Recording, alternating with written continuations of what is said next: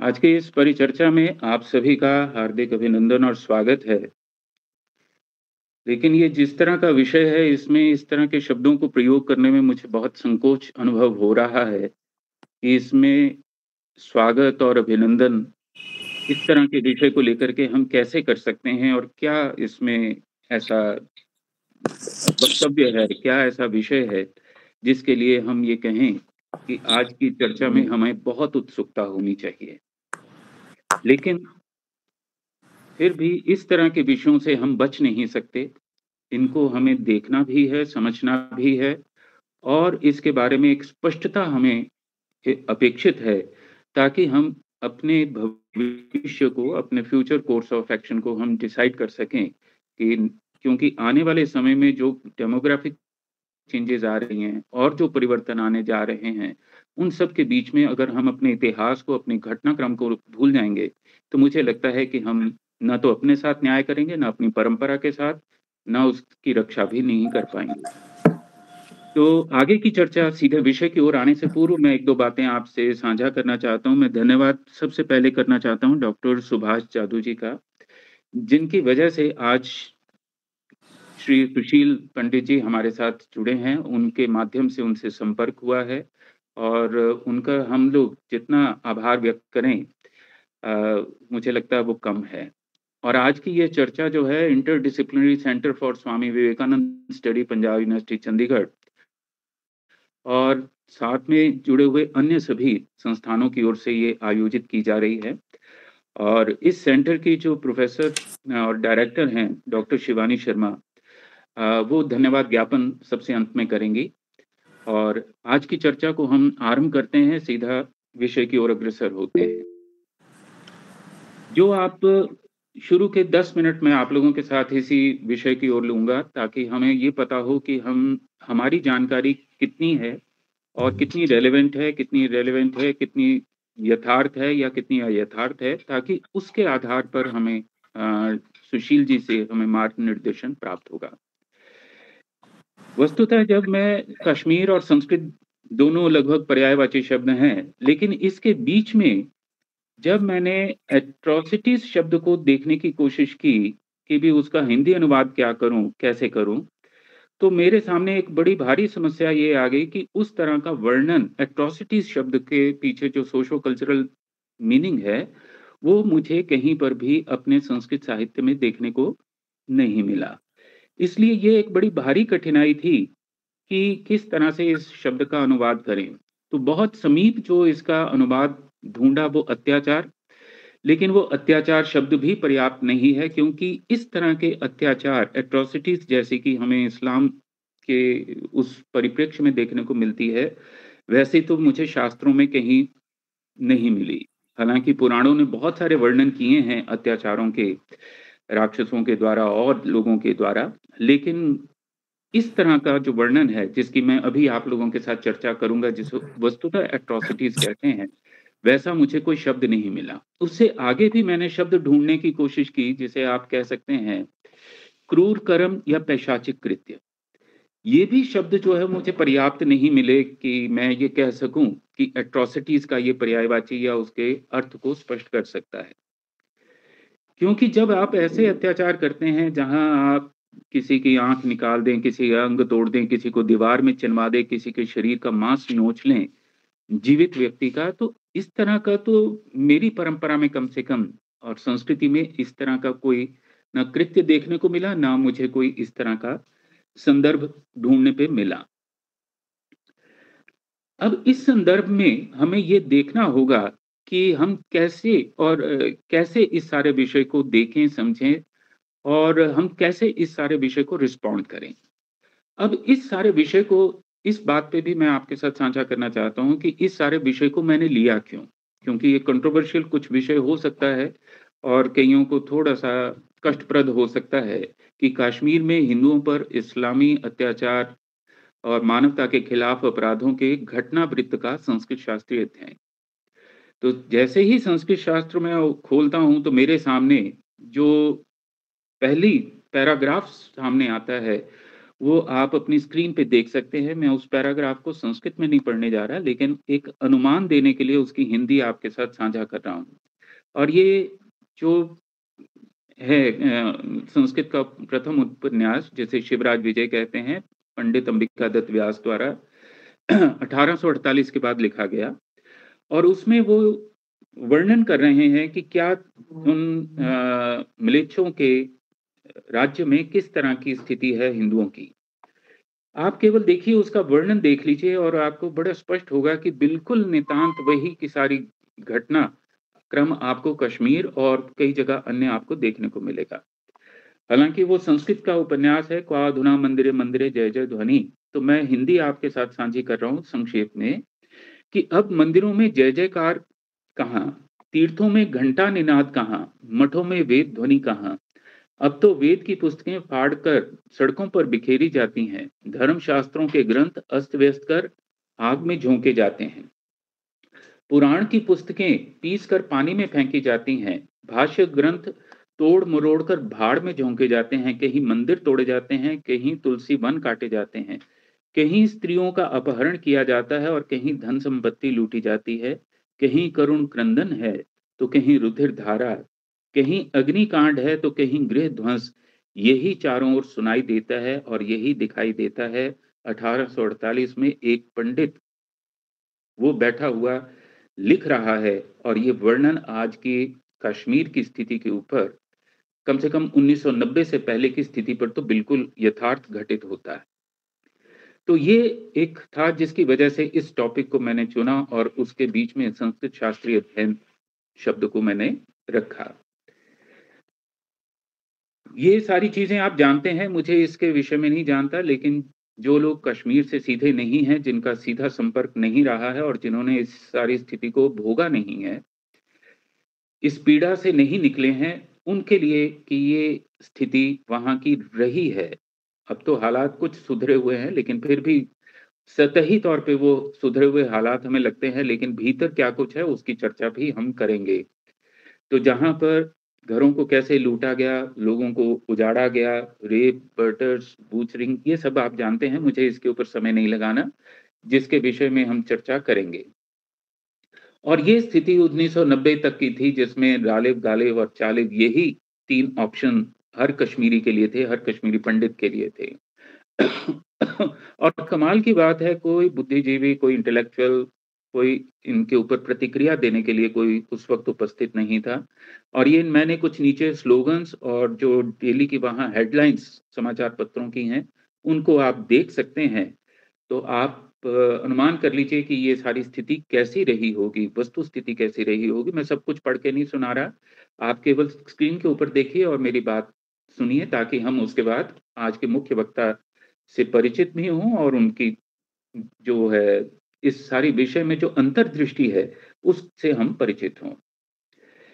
ये एक स्लाइड जो मैं ज़रूर आपके साथ शेयर करना चाहता हूँ और उसके बाद मैं आपका परिचय आज के मुख्य वक्ता से कराऊँगा देखिए जब संस्कृत क्योंकि मेरा विषय संस्कृत है और मैं संस्कृत की आधार भूमि पे खड़ा होके ही इन सब विषयों को देखने का हमेशा प्रयास करता हूँ और और बाकियों से भी आग्रह करता हूँ कि संस्कृत आपकी आधार भूमि है, उसके ऊपर खड़े होकर के जब तक आप नहीं देखेंगे, तो हम कहीं ना कहीं बहुत कुछ खो भी देंगे और हम मार भी खाएँगे।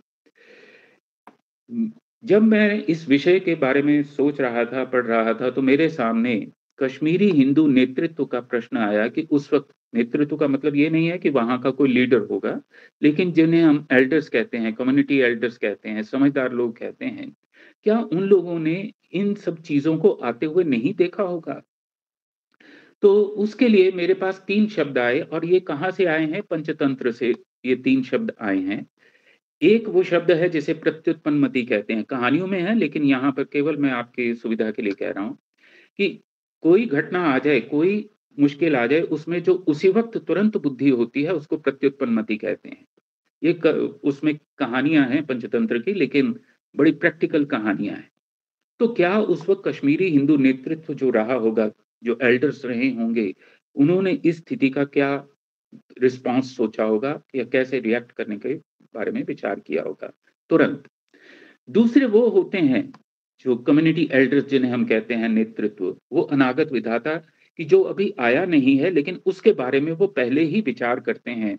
और यही शास्त्र बार बार कहता भी है कि उसको एंटीसिपेट करिए और तदनुकूल अपने व्यवहार को निश्चित करें। और तीसरा होता है यद भविष्य। ये सबसे निम्न कोटि का नेतृत्व होता है कि भाई जो होगा देखा जाएगा। तो ये तीन तरह की बातें हैं, तीन पक्ष हैं, ज़रूर इस हिंदू नेतृत्व के जो हमारे अग्रज रहे होंगे। उनका क्या रिस्पांस रहा होगा? तो इस संदर्भ में हम ये देखें कि आप कश्मीर की जो परंपरा रही है, वैदिक और शैव की रही है, जिसमें संस्कृति, परंपरा और इतिहास आपको बहुत विस्तार पूर्वक आप सभी जानते हैं, मुझे उस पर टिप्पणी नहीं करनी। दूसरा पक्ष ये जो आप ट्रायंगल का नीचे की ओर देख रहे हैं, दूसरी ओर इस सब के बीच में इंडियन संविधान। मैं उसको भारतीय संविधान कहने में संकोच करता हूँ। इंडियन संविधान है, जिसमें 370 प्लस संसद प्लस सुप्रीम कोर्ट प्लस मानवाधिकार जितने भी मिला लीजिए, उन सबका रिस्पांस क्या रहा है कश्मीरी पंडितों के सामूहिक हत्याएँ, निर्वासन, बलात्कार धन संपत्ति की लूट के बारे में? तीसरा जो इसका पक्ष रहा है, जो कि इस्लाम, जो कश्मीर का इस वक्त यथार्थ है, लगभग तेरहवीं, चौदहवीं शताब्दी के ऑनवर्ड्स वो यथार्थ इस्लाम जो है is equal to Muslim plus J K L F type जितनी भी संस्थाएँ हैं माइनस काफिर। इनका रिस्पॉन्स क्या रहा है और इनका रोल कैसा रहा है और कैसे ये इतने विस्तृत होते चले गए और प्रभावी होते चले गए, ये भी हमें थोड़ा सा जानना और समझना होगा जब हम भविष्य के बारे में चर्चा करें।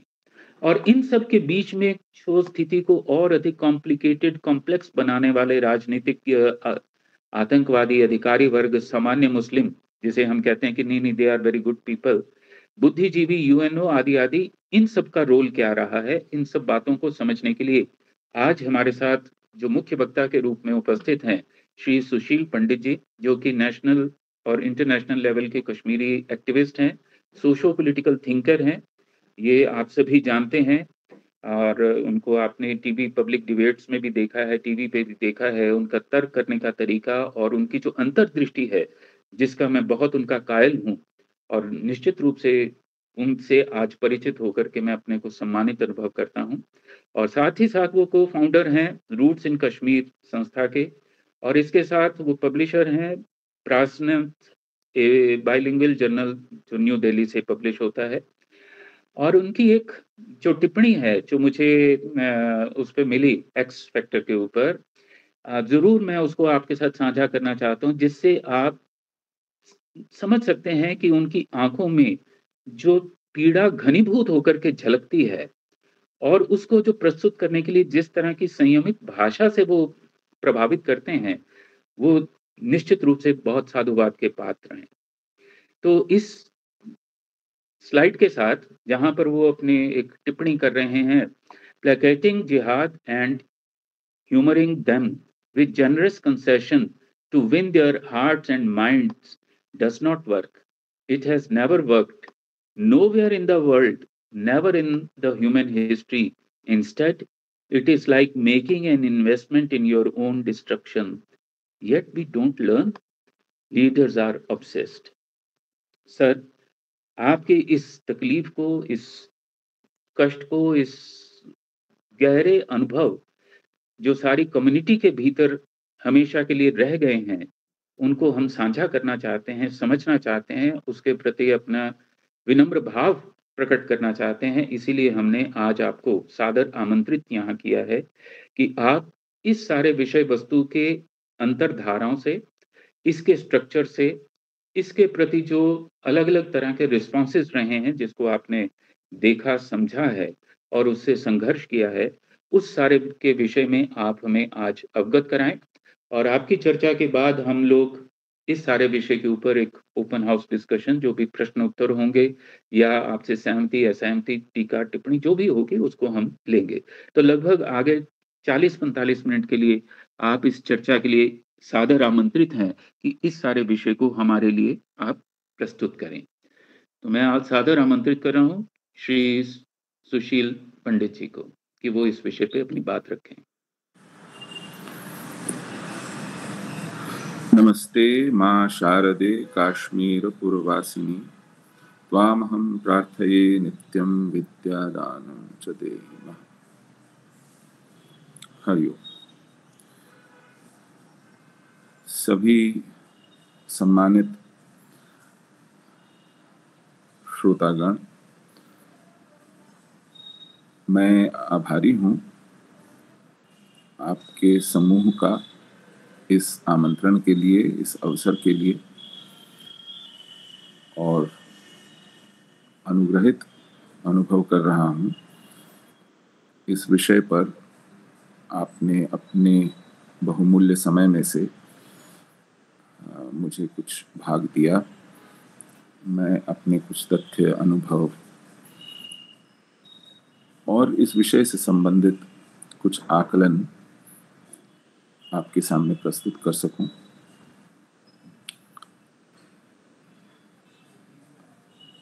यह विषय अब लगभग दो ढाई दशकों से आ, मेरी कौतूहल का आ, मेरी जिज्ञासा का विषय रहा है। इस पर सामग्री सहज उपलब्ध नहीं होती है। लेकिन जो कुछ भी उपलब्ध रही और मेरी सीमित बुद्धि ने इसमें से जो कुछ छाना वो आपके सामने प्रस्तुत है कहीं कोई त्रुटि दुष्टता रह गई हो तो मैं आपसे अग्रिम क्षमा याचना करता हूँ और इस पर आगे चर्चा की गुंजाइश है। कश्मीर, मेरी, मेरे पूर्वजों की भूमि है, जन्मभूमि है, और जो हमारी वृहत मातृभूमि है भारत उसके सुदूर उत्तर का एक क्षेत्र है। और इसे हम आज अपने एक भूगोल का भाग मानकर लगभग वहीं तक सीमित रखकर उसके विषय में विचार विमर्श करते हैं। करते आए हैं और ऐसा मेरा आकलन रहा है। कश्मीर जब भी चर्चा में आया है तो भारत के सुदूर उत्तर का एक प्रांत और उस प्रांत को लेकर के जो विवाद, भूमि का विवाद, सीमा का विवाद, बस यहाँ तक कश्मीर हमारी चेतना में सीमित कर दिया गया। हाँ उससे पहले कुछ इस विषय में यदि किसी को कोई काव्य कोई उद्धरण देना होता था तो अमीर खुसरो का जो एक शेर है, अगर फिरदौस बर रुए जमी अस्त, हमी अस्तो हमी अस्तो, हमी अस्त। कि भूमि पर यदि कहीं स्वर्ग है तो वो यही है यही है यही है। इस उद्धरण के साथ कश्मीर के प्राकृतिक सौंदर्य, उसकी नैसर्गिक छटा तक उसको सीमित कर दिया गया।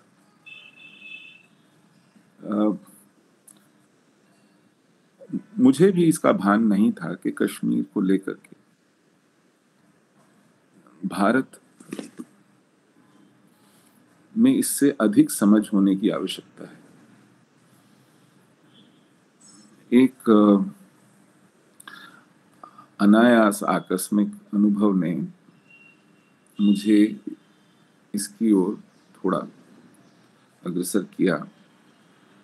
जब मेरे कॉलेज के संस्कृत के प्राध्यापक मुझे एक बार अपने घर ले गए पिता से मिलाने। और उनके पिता उन दोनों नब्बे वर्ष की आयु से ऊपर के थे। उन्होंने कहा कि पिताजी ये सुशील है, ये कश्मीर से हैं तो उन वृद्ध आँखों में भी जो चमक आई, मैं उसे अभी भी भूल नहीं सकता। उन्होंने कहा कि, आओ बैठो। क्या तुम जानते हो कि तुम्हारा पांचांग विश्व का सबसे प्राचीनतम पांचांग है? डॉक्टर सूर्यकांत बाली ने मुझे बताया कि उनके पिता चंद्रकांत बाली पांचांग के विशेषज्ञ थे शायद। लिविंग अथॉरिटी अंग्रेज़ी में कहते हैं, दुनिया में काल गणना को लेकर के उनका जो अध्ययन था उनकी जो शोध था रुचि थी वह अनन्य थी। आ, मैंने कौतूहल पूछा अच्छा कैसे कितना? उन्होंने कहा कि आपका समुदाय जिस पांचांग का पालन करता है उसको कहते हैं सप्तऋषि संवत। यह प्राचीनतम प्रचलित पांचांग है, जो चंद्र, उनकी है। चंद्र को केंद्र में रखकर जो ग्रह, गति, गणना ये सब की जाती है, अध्ययन किया जाता है। चंद्रमान पांचांग है। पाँच हज़ार वर्ष पुराना मैं घर आया, मैंने, क्योंकि हमारे यहाँ प्रतिवर्ष नई पति आती है तो तब आज वो पाँच हज़ार एकवा वर्ष चल रहा है उसका, उस पांचांग का। तो आज से सोचिए, लगभग बीस वर्ष पहले, मैं तो देखकर चकित रह गया। और मुझमें एक, ये ग्लानी भाव भी जागा कि मुझे ही नहीं पता। मैंने कभी पांचांग उलट पलट के देखा नहीं था घर में, क्योंकि ये काम माता पिता का रहता था। कब मुहूर्त है, कब अमावस्या है, कब पूर्णमासी है, कब कौन सा उत्सव है, कब कौन सी अनुष्ठान की आवश्यकता है, पूजा करनी है। पहली बार मैंने उसको ठीक से उलट पलट के देखा।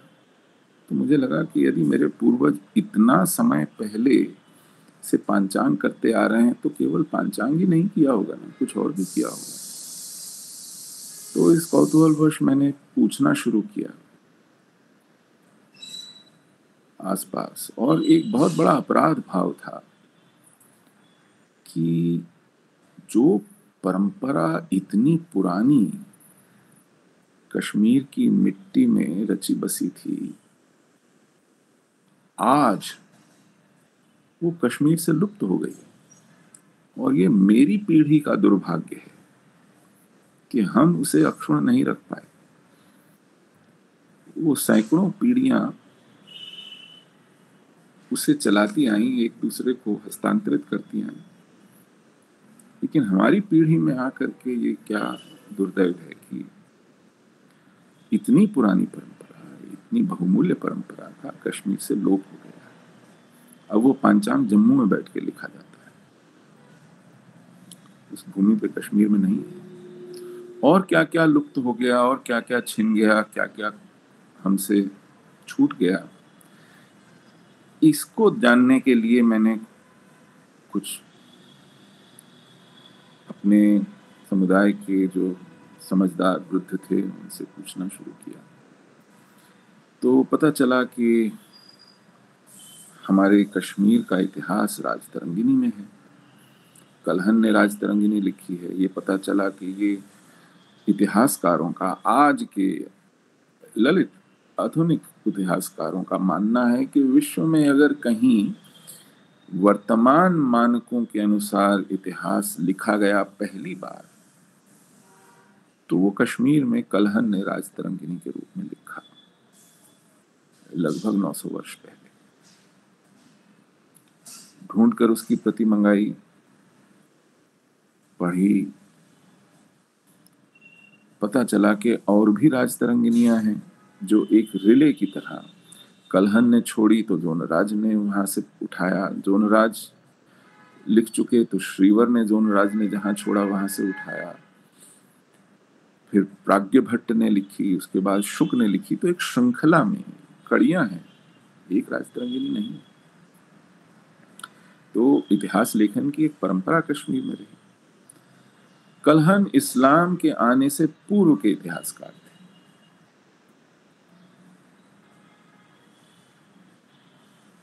वो प्रारंभ करते हैं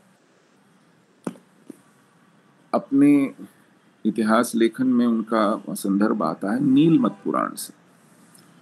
मैंने पूछा, नीलमत पुराण? तो पता चला कि ये कश्मीर का स्थल पुराण है। वो कश्मीर की उत्पत्ति से उसके अंदर जो कथा है, कि कैसे कश्मीर कश्मीर होने से पहले सतीसर था। एक बड़ा, विशाल सरोवर था, जो माता सती का ही एक क्रीड़ा स्थल था क्रीड़ा स्थली थी। और जलोद्भव उसमें एक दैत्य जल से उत्पन्न हुआ और जल में ही उसको सर्वाधिक शक्ति प्रदान थी। उसने जो आतंक मचाया तो स्वयं ऋषि कश्यप को आना पड़ा और वहाँ उस जल का निकास किया गया और जलोद्भव के पास जब जल का आश्रय नहीं रहा तो उसका वध हुआ, शुष्क भूमि आई और ऋषि कश्यप ने वहाँ एक बहुआयामी समाज की, समुदाय की स्थापना की, जिसमें गंधर्व भी थे, नाग भी थे, किन्नर भी थे, पिशाच भी थे, ब्राह्मण भी थे। इसे हम आज एक प्लूरलिस्टिक सोसाइटी कहते हैं। सामंजस्य के साथ वहाँ रही प्रथम राजा नील था, जिसके नाम पर नील मत पुराण पड़ा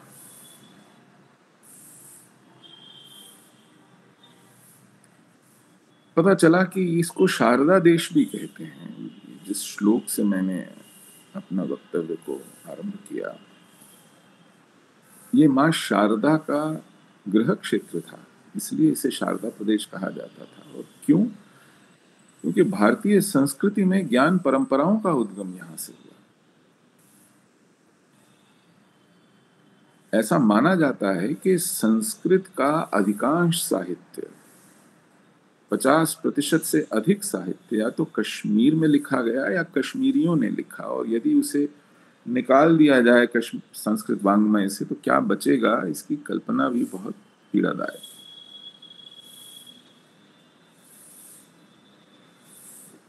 बहुत अद्भुत उच्च कोटि के कवि हुए कश्मीर में। बिलहन हुए, क्षेमेंद्र हुए दर्शन शास्त्री हुए, वैयाकरण हुए, रुयक, कैयट, मम्मट, अभिनव गुप्त हुए, आचार्य अभिनव गुप्त पाद।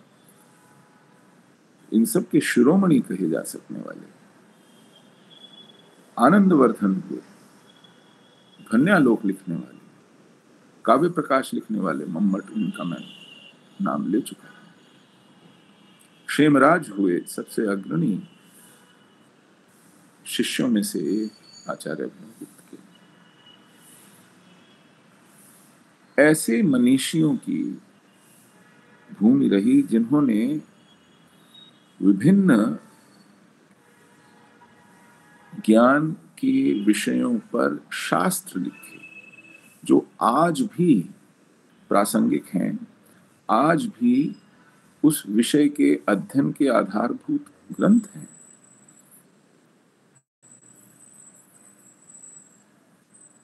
ऐसी भूमि जिसकी ओर काशी से स्नातकोत्तर हुआ छात्र तीन ओर पग धरता है, सांकेतिक रूप में ये कहने के लिए कि अब मैं अध्ययन के लिए काशी से निकला हुआ स्नातक, कश्मीर जाऊँगा, इसलिए उसे शारदा प्रदेश कहा गया।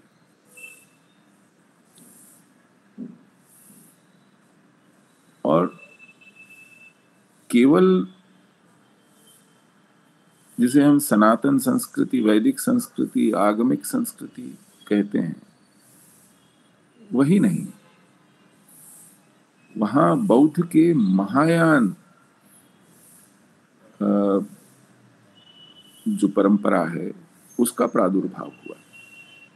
कनिष्क ने चौथी अंतरराष्ट्रीय बौद्ध समागम वहाँ आयोजित किया। और पद्म संभव कश्मीर से गए तिब्बत और तिब्बत से चीन और चीन से कोरिया कोरिया से जापान, जो महायान बौद्ध संप्रदाय का विस्तार हुआ,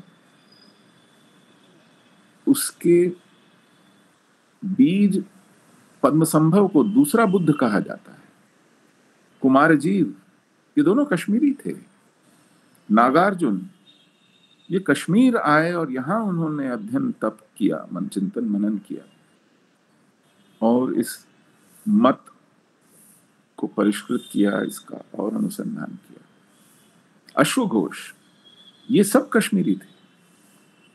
आज से 2000 वर्षों से भी अधिक पहले, बुद्ध के साढ़े तीन चार सौ वर्ष बाद तो कश्मीर विभिन्न विधाओं में, विभिन्न परंपराओं में, विभिन्न विषयों में अध्ययन, अध्यापन का केंद्र रहा। दूर सुदूर क्षेत्रों से विद्वान वहाँ आते रहे। और उसकी इस परंपरा को समृद्ध करते रहे। और केवल पतंजलि के योग सूत्र वहाँ लिखे गए। पणिनि की अष्टाध्यायी वहीं हुई। यास्काचार्य वहाँ हुए। मैं किस किस के नाम लू और किसे भूलूं, किसे छोड़ू?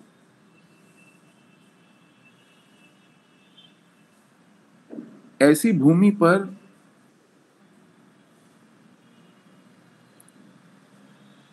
विद्या का एक केंद्र शारदा पीठ था, जो आकर्षित करता था विद्वानों को सभी दिशाओं से। और केवल दर्शन, व्याकरण, गणित, साहित्य, काव्य, योग, मीमांसा, आगम, तंत्र, केवल यही नहीं। यह योद्धाओं की भी भूमि रही। अनन्य वीर, राजा और साम्राज्य यहीं थे। कारकोटा वंश के ललितादित्य को पश्चिमी देशों के इतिहासकार एलेक्जेंडर ऑफ़ द ईस्ट कहते हैं। उसका साम्राज्य आठवीं शताब्दी में दक्षिण में कावेरी तक छूता था। पूर्व में प्राग ज्योतिष को ब्रह्मपुत्र को छूता था और उत्तर पश्चिम में कैस्पियन सागर तक जाता था। महाराष्ट्र में उन दिनों राष्ट्रकूट थे और वे उसका, उसकी सार्वभौमिकता स्वीकार करते थे, कन्नौज का राजा। उसका आधिपत्य स्वीकार करता था। और उसकी राजधानी कश्मीर थी।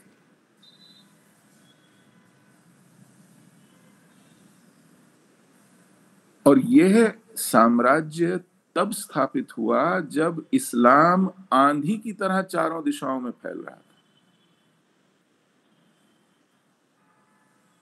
ईरान जीता जा चुका था। आप सोचिए 711 ईस्वी में मोहम्मद बिन कासिम सिंध पर आक्रमण करके पहला इस्लामी शासक बनता है और 719 ईस्वी में ललितादित्य का राज्याभिषेक होता है।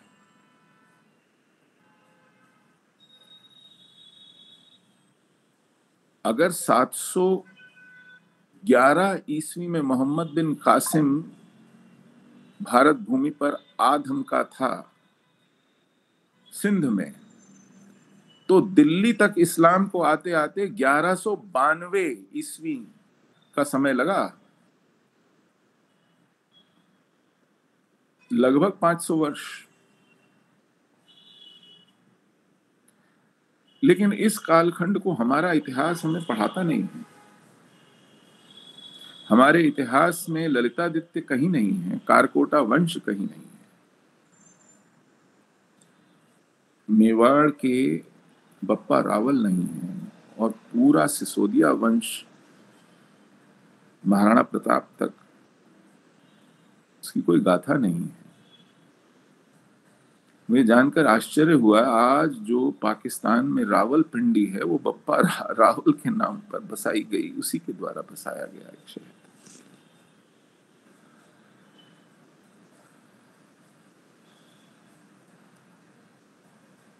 कारकोटा वंश के बाद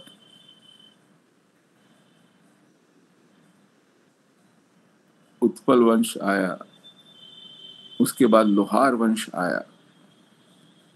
कश्मीर में अंतिम हिंदू राजा लोहार वंश के थे। लोहार वंश का ही पहला सम्राट, जो ग्यारहवीं शताब्दी में जिसने कश्मीर से शासन शुरू किया, संग्राम राज, उसने दो बार महमूद गजनवी को हराया। दो बार कश्मीर पर आक्रमण हुआ, महमूद गजनवी का। उस महमूद गजनवी का, जिसके बारे में हमें ये पढ़ाया जाता है कि वो जैसे सर्दियों की छुट्टियाँ बिताने भारत आता था, जिस दिशा में चला जाता था, लूटपाट करता हुआ रौनता हुआ, मारता हुआ, पीटता हुआ, लूटता हुआ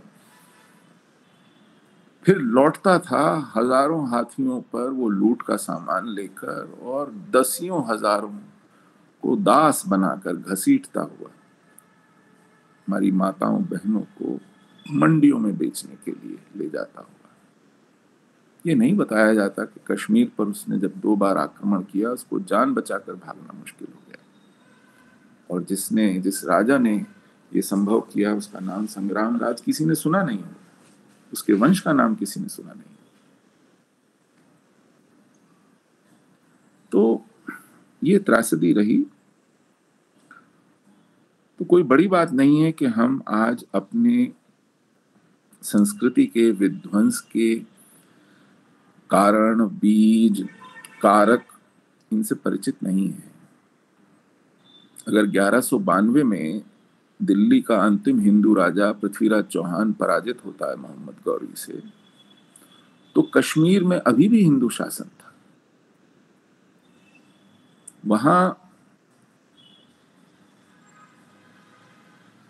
इस्लाम के प्रचारकों का आगमन चौदहवीं शताब्दी के प्रारंभ में शरणार्थियों के रूप में होता है। इस्लाम कश्मीर में घोड़े पर चढ़कर तलवार भांजता नहीं आया।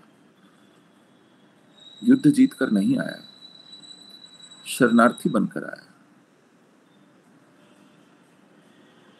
सबसे पहले शरणार्थियों में एक नाम है बुलबुल शाह।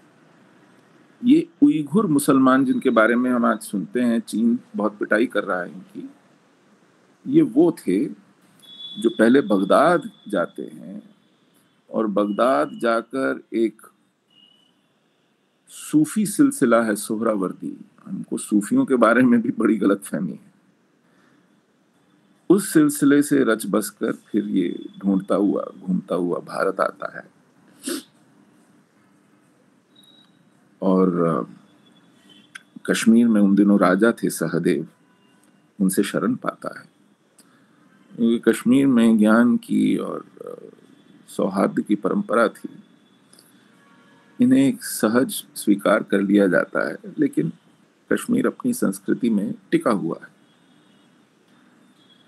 फिर एक और नौजवान आता है, स्वात वैली, जो घर था पाणिनि का, जहाँ अष्टाध्यायी लिखी गई, जो कश्मीर से एज अ क्रो फ्लाइज अंग्रेज़ी में एक सीधी अगर लकीर खींचे तो सौ किलोमीटर दूर भी नहीं थी स्वात घाटी, कश्मीर घाटी से।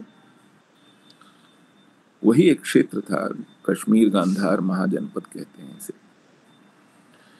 वहाँ पर इस्लामी शासन आ चुका था तो वो तख्ता पलट करने के प्रयास में असफल होकर जान बचाकर कश्मीर में शरण लेता है, सहदेव उसे भी शरण लेते हैं। एक और शरणार्थी आता है लद्दाख से। वो भी एक रेनेगेड बुद्धिस्ट है नोबल फैमिली से। रिंचन उसका नाम है। ये सब कश्मीर में शरण पाते हैं, लेकिन महत्वाकांक्षी हैं, इनके अपने उद्देश्य हैं।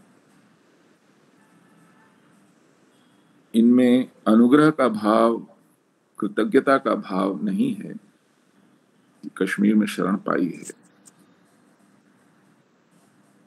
कश्मीर पर एक बड़ा आक्रमण होता है, तातार एक कबीले से दुलचू नाम का एक शासक, बहुत बर्बर शासक, आक्रमण करता है और कश्मीर को तहस नहस करता है। कुछ छह आठ महीने रहकर उसके पेड़, उसकी फ़सलें, उसके तालाब सब नष्ट करता है और जब भूखमरी की हालत हो जाती है तो हज़ारों बंदियों को लेकर कूच करता है और एक पहाड़ी दर्रे पर एवलॉन्च एक बर्फ़ के तूफ़ान में दबकर मर जाता है। इस अफरा तफरी में सहदेव के स्थान पर उसका सेनापति बागडोर संभालता है, जिसका नाम है रामचंद्र। रिंचिन को लगा कि ये एक अवसर है उथल पथल का। और वह रामचंद्र से परिचित है, बीमार होने का बहाना करता है। रामचंद्र से आग्रह करता है कि वो उससे मिलने देखने आए और उसे घात लगाकर मार देता है। घात लगाकर मारने के बाद स्वयं को राजा घोषित करता है। कुछ कुलीनों में वो उसने पहले साठ गांठ कर रखी थी। और फिर यही बुलबुल शाह जो पहले से वहाँ है, वो इसको इस्लाम में दीक्षित कर देता है तो ये सदरुद्दीन हो जाता है रिंचिन शाह हो जाता है। ये रामचंद्र की बेटी कोटा से जबरन विवाह करता है। लेकिन दो तीन साल में मर जाने के बाद सहदेव का भाई उदयन देव पुनः राजा बनता है। तो टेक्निकली कहा जाए तो पहला इस्लामी सुल्तान कश्मीर में 1319 में आया और 1322 तक निपट गया और उसके बाद कोटा रानी ने शासन संभाला, उदयन देव के साथ उसका विवाह हुआ। और तेरह तक कोटा रानी का शासन है, लेकिन ये एक उथल पुथल का दौर है। ये अस्थिरता का दौर है। उदयन देव बहुत सक्षम राजा नहीं थे, भाई थे सहदेव के।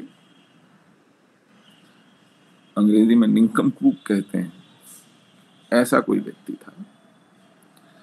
और इधर इस उथल पुथल में अवसर तलाशने वाले लोग बहुत थे, जिनमें शाहमीर जो स्वाद से भाग कर आया था तख्ता पलट की कोशिश में असफल रहने के बाद, वो छल से, पैलेस इंट्रीक से राजा बन जाता है। कोटा रानी से भी बहुत सी गलतियाँ होती हैं। जो सक्षम लोग थे, वो एक एक करके मारे जाते हैं। भट्ट भीषण, जिनमें एक बहुत बड़ा सेनापति था, उसका वध होता है।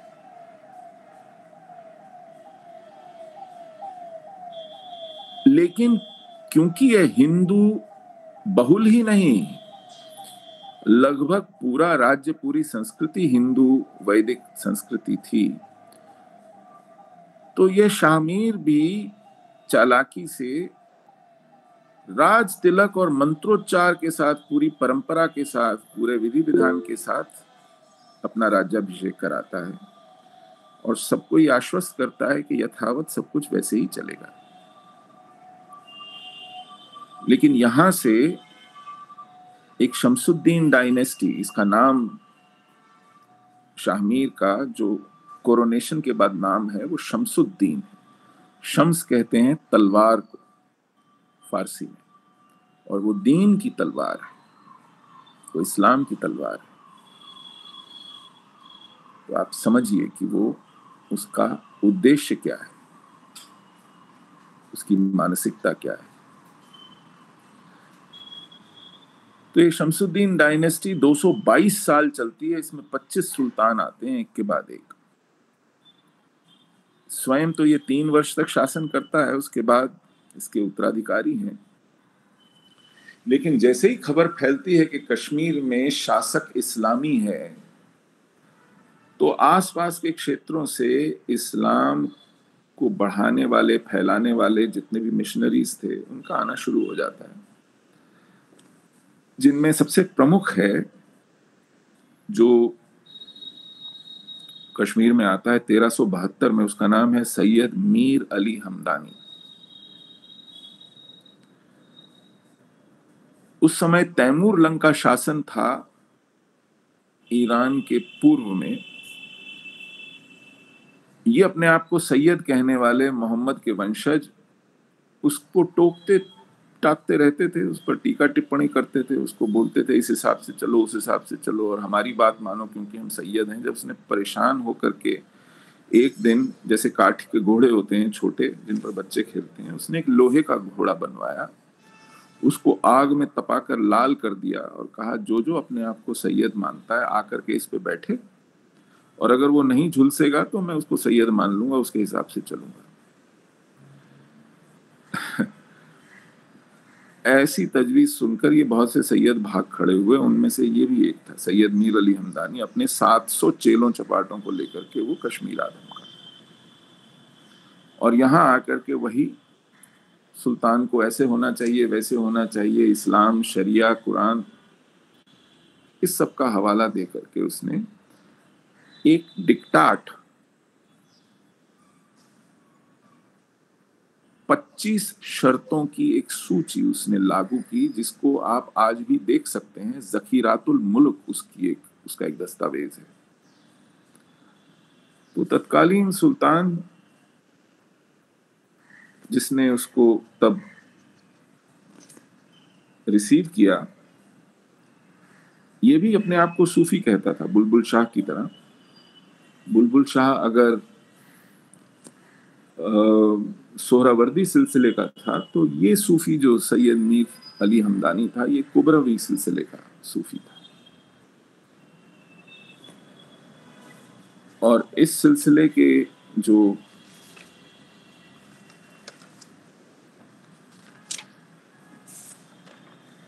लोग रहे, वो आज भी कश्मीर में हैं।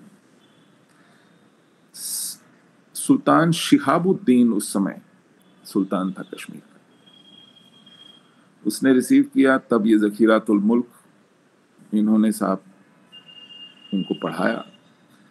इन 25 शर्तों में मतलब बहुत सी ह्यूमिलिएटिंग शर्तें थी। एक शर्त जो ज़्यादा ह्यूमिलिएटिंग नहीं थी, अब मैं आपको एक उदाहरण के तौर पर बताऊँ कि हिंदू अपनी अंगूठी में नग नहीं लगा पाएगा। वो नग लगी अंगूठी नहीं पहन सकता। हिंदू घोड़े पर जीन लगे घोड़े पर चढ़कर नहीं आ सकता। हिंदू अपने साथ शस्त्र लेकर नहीं चल सकता। यानी तब मेरे पूर्वज शस्त्र लेकर चलने को स्वतंत्र थे, नहीं चल सकता। हिंदू अपने टूटे हुए मंदिर की मरम्मत नहीं कर सकता, नया मंदिर नहीं बना सकता। हिंदू अपने देवी देवताओं का सार्वजनिक प्रदर्शन नहीं कर सकता। उनके चित्र, उनकी मूर्तियाँ नहीं कर सकता। अपने त्योहार सार्वजनिक रूप से नहीं मना सकता। यदि कोई मुस्लिम पर्यटक या प्रवासी वहाँ आता है कश्मीर तो उसे तीन दिन तक उसे अपने घर में रखकर, खिला पिलाकर, उसकी देखभाल, उसकी मेहमान नवाजी करनी होगी। ये अनिवार्य है। कम से कम तीन दिन बिना पैसे लिए, बिना कुछ अपेक्षा रखे। जहाँ दो तीन मुसलमान खड़े होकर कोई चर्चा कर रहे हो तो वहाँ हिंदू का रहना अवांछनीय है। स्वयं वहाँ से चला जाए। ऐसी ऐसी शर्तें थी। यदि हाँ एक शर्त यदि उसका कोई अपना संबंधी भी, आत्मीय भी, यानी बेटा, बाप, माँ, भाई, बहन, इस्लाम स्वीकार करने की का मन बना रहा हो, अभी सोच ही रहा हो, उसे इस विषय से दूर नहीं ले जा सकता, इस इस परसुएड नहीं कर सकता। जघन्य अपराध माना जाएगा। ऐसी 25 शर्तें थी।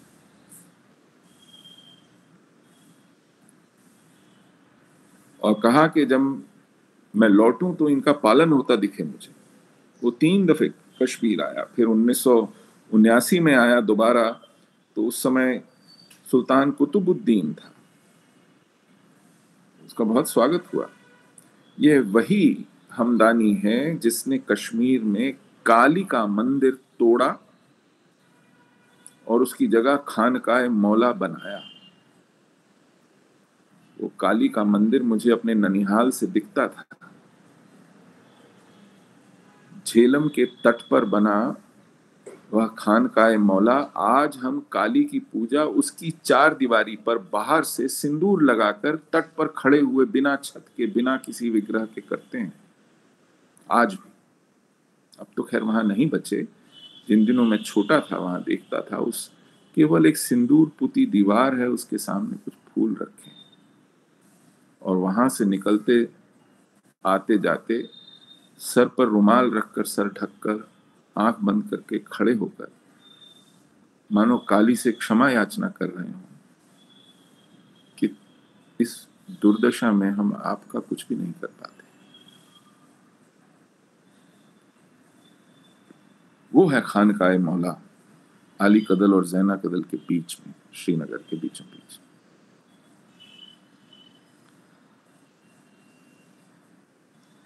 जब वो तीसरी दफे आया तो उसका बेटा साथ आया था, सैयद मीर मोहम्मद हमदानी।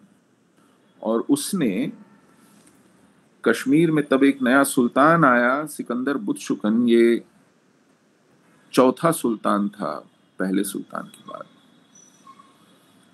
बुद्ध शुकन, शिकन, फारसी में मूर्ति भंजक का अनुवाद है। वो उसने इतने मंदिर और इतनी मूर्तियाँ तोड़ी कि उसका नाम बुद्ध शिकन पड़ गया। वो सुल्तान सुल्तान सिकंदर था। और उसके काल में पहला कश्मीर से निष्कासन हिंदुओं का हुआ, पलायन हुआ। बहुत ही आक्रामक, हिंसक सुल्तान था। जोनराज लिखते हैं जिन्होंने दूसरी राजतरंगिनी लिखी, कि मानो लहलहाती धान की फ़सल पर टिड्डी दल आ गया कश्मीर में हिंदुओं का ये हाल।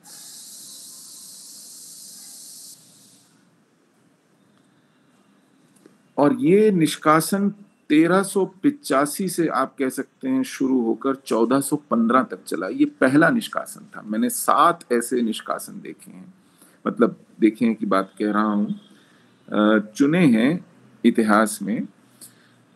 यूँ तो कश्मीर से कट कट कर घट घट कर हिंदू निष्कासित होते रहे, निरंतर होते रहे इस्लामी शासन में। लेकिन कुछ ऐसे कालखंड आए जिसमें इनको तीव्रता मिली। स्टेटिस्टिकली कहते हैं कि वो जो ट्रिजेक्ट्री में स्पाइक आता है ग्राफ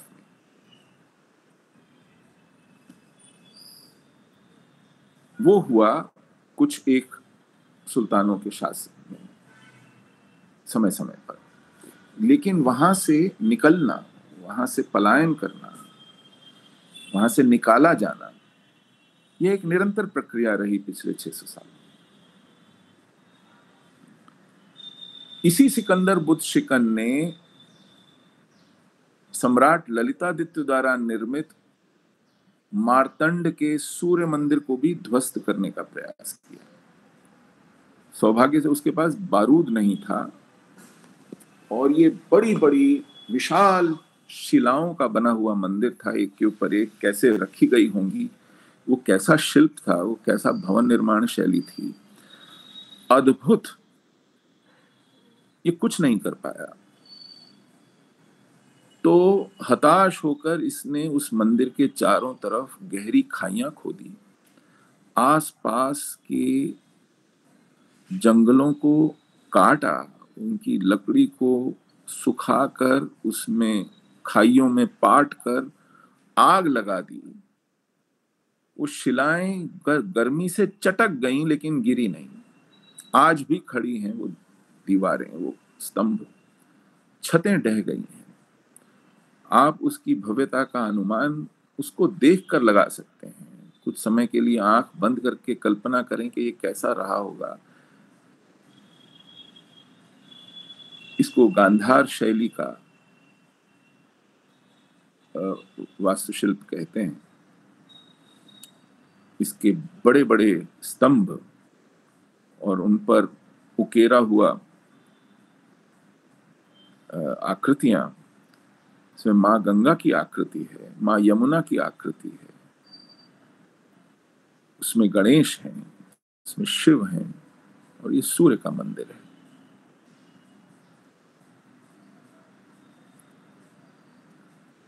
अनंतनाग से ज़्यादा दूर नहीं है। उसी ज़िले में है। मटन एक अपभ्रंश शब्द है मारतंड का। उससे मुश्किल से छह किलोमीटर दूर है। आप जाएँ, देखें कि सातवीं शताब्दी में, आठवीं शताब्दी में, कश्मीर में इस शैली का भवन निर्माण। ऐसा अद्भुत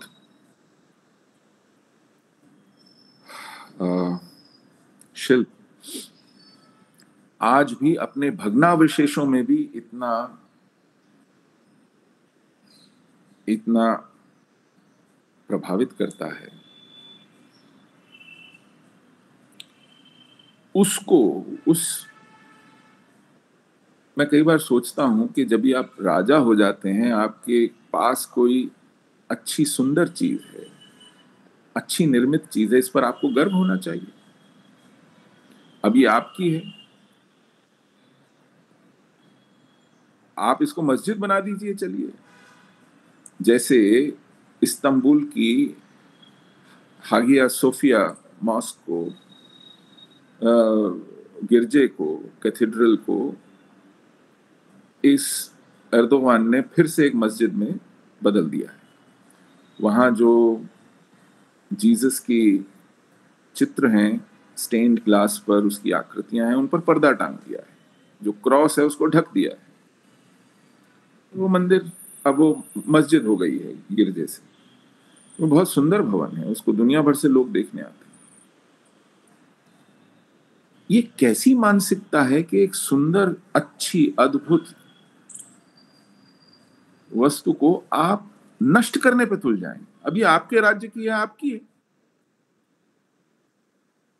तो ये वही मानसिकता है जिसने हम्पी को जीतने के बाद तोड़ने पर उसको नष्ट करने पर तुला दिया था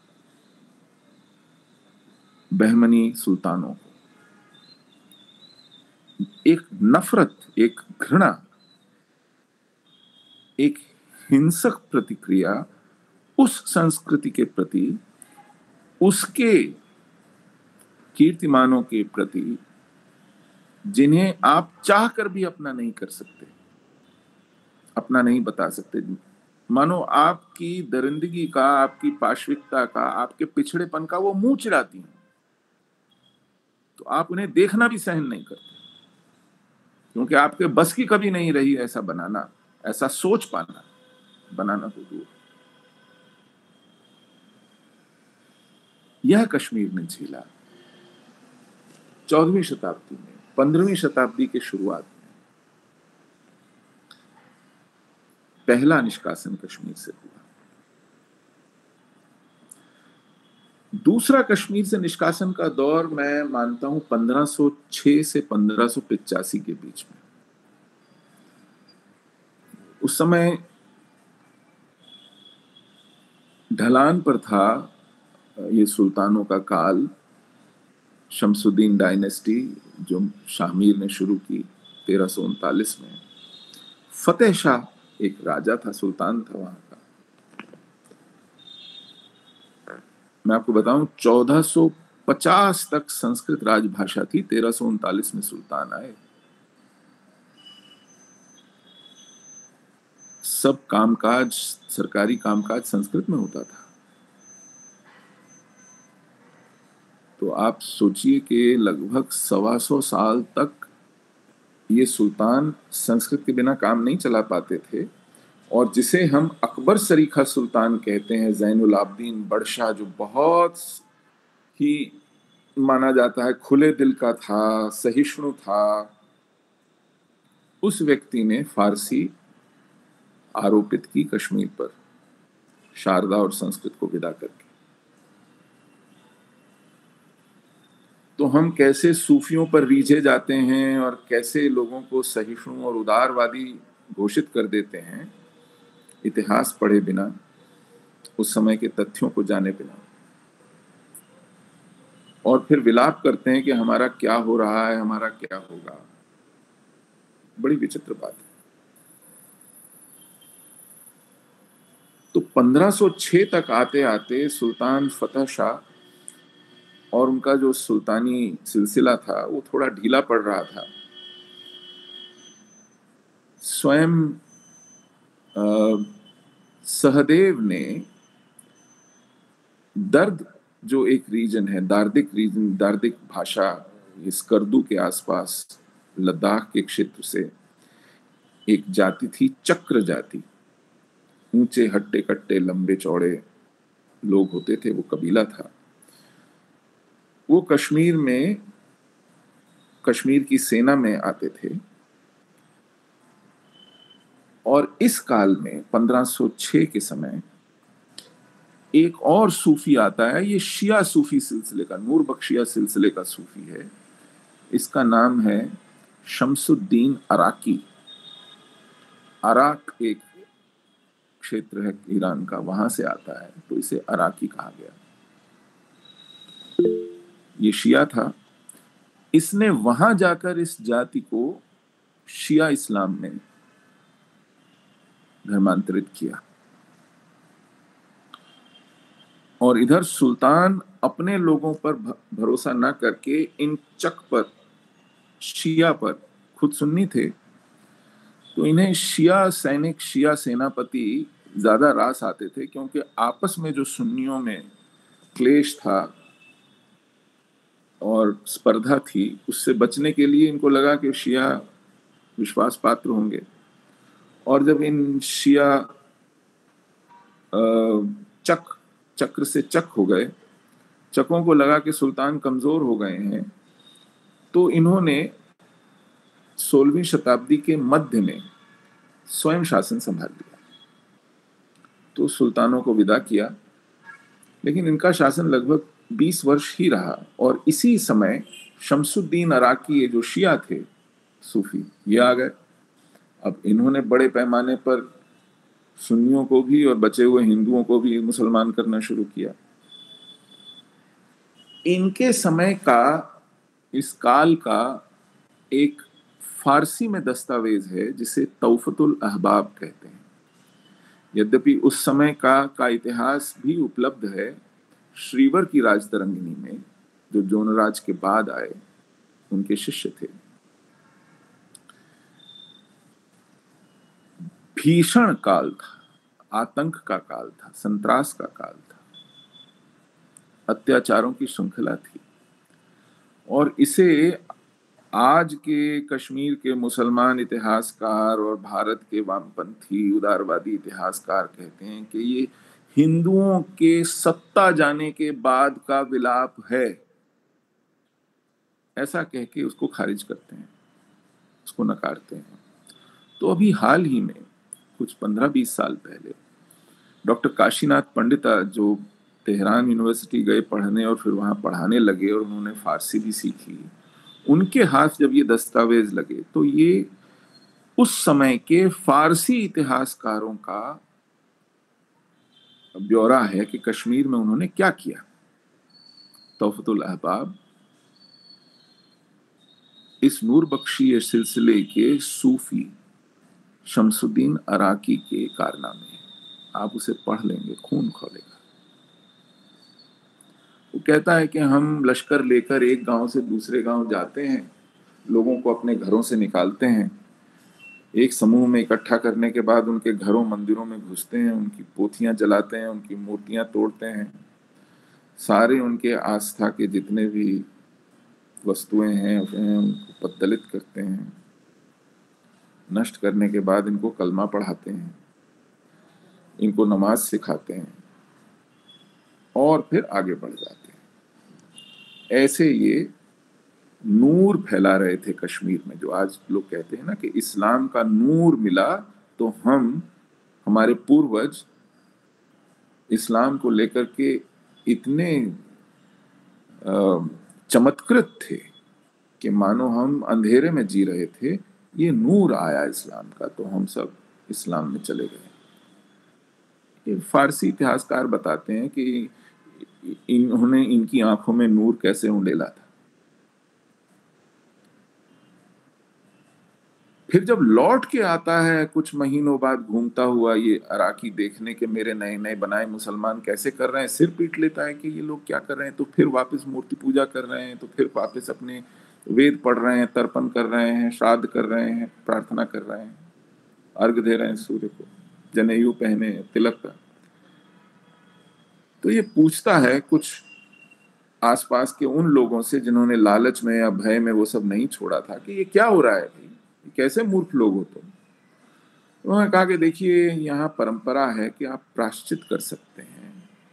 आप उपवास आदि करके, कुछ कर्मकांड करके, उन दोषों का निवारण करके पुनः अपनी आस्था में जा सकते हैं।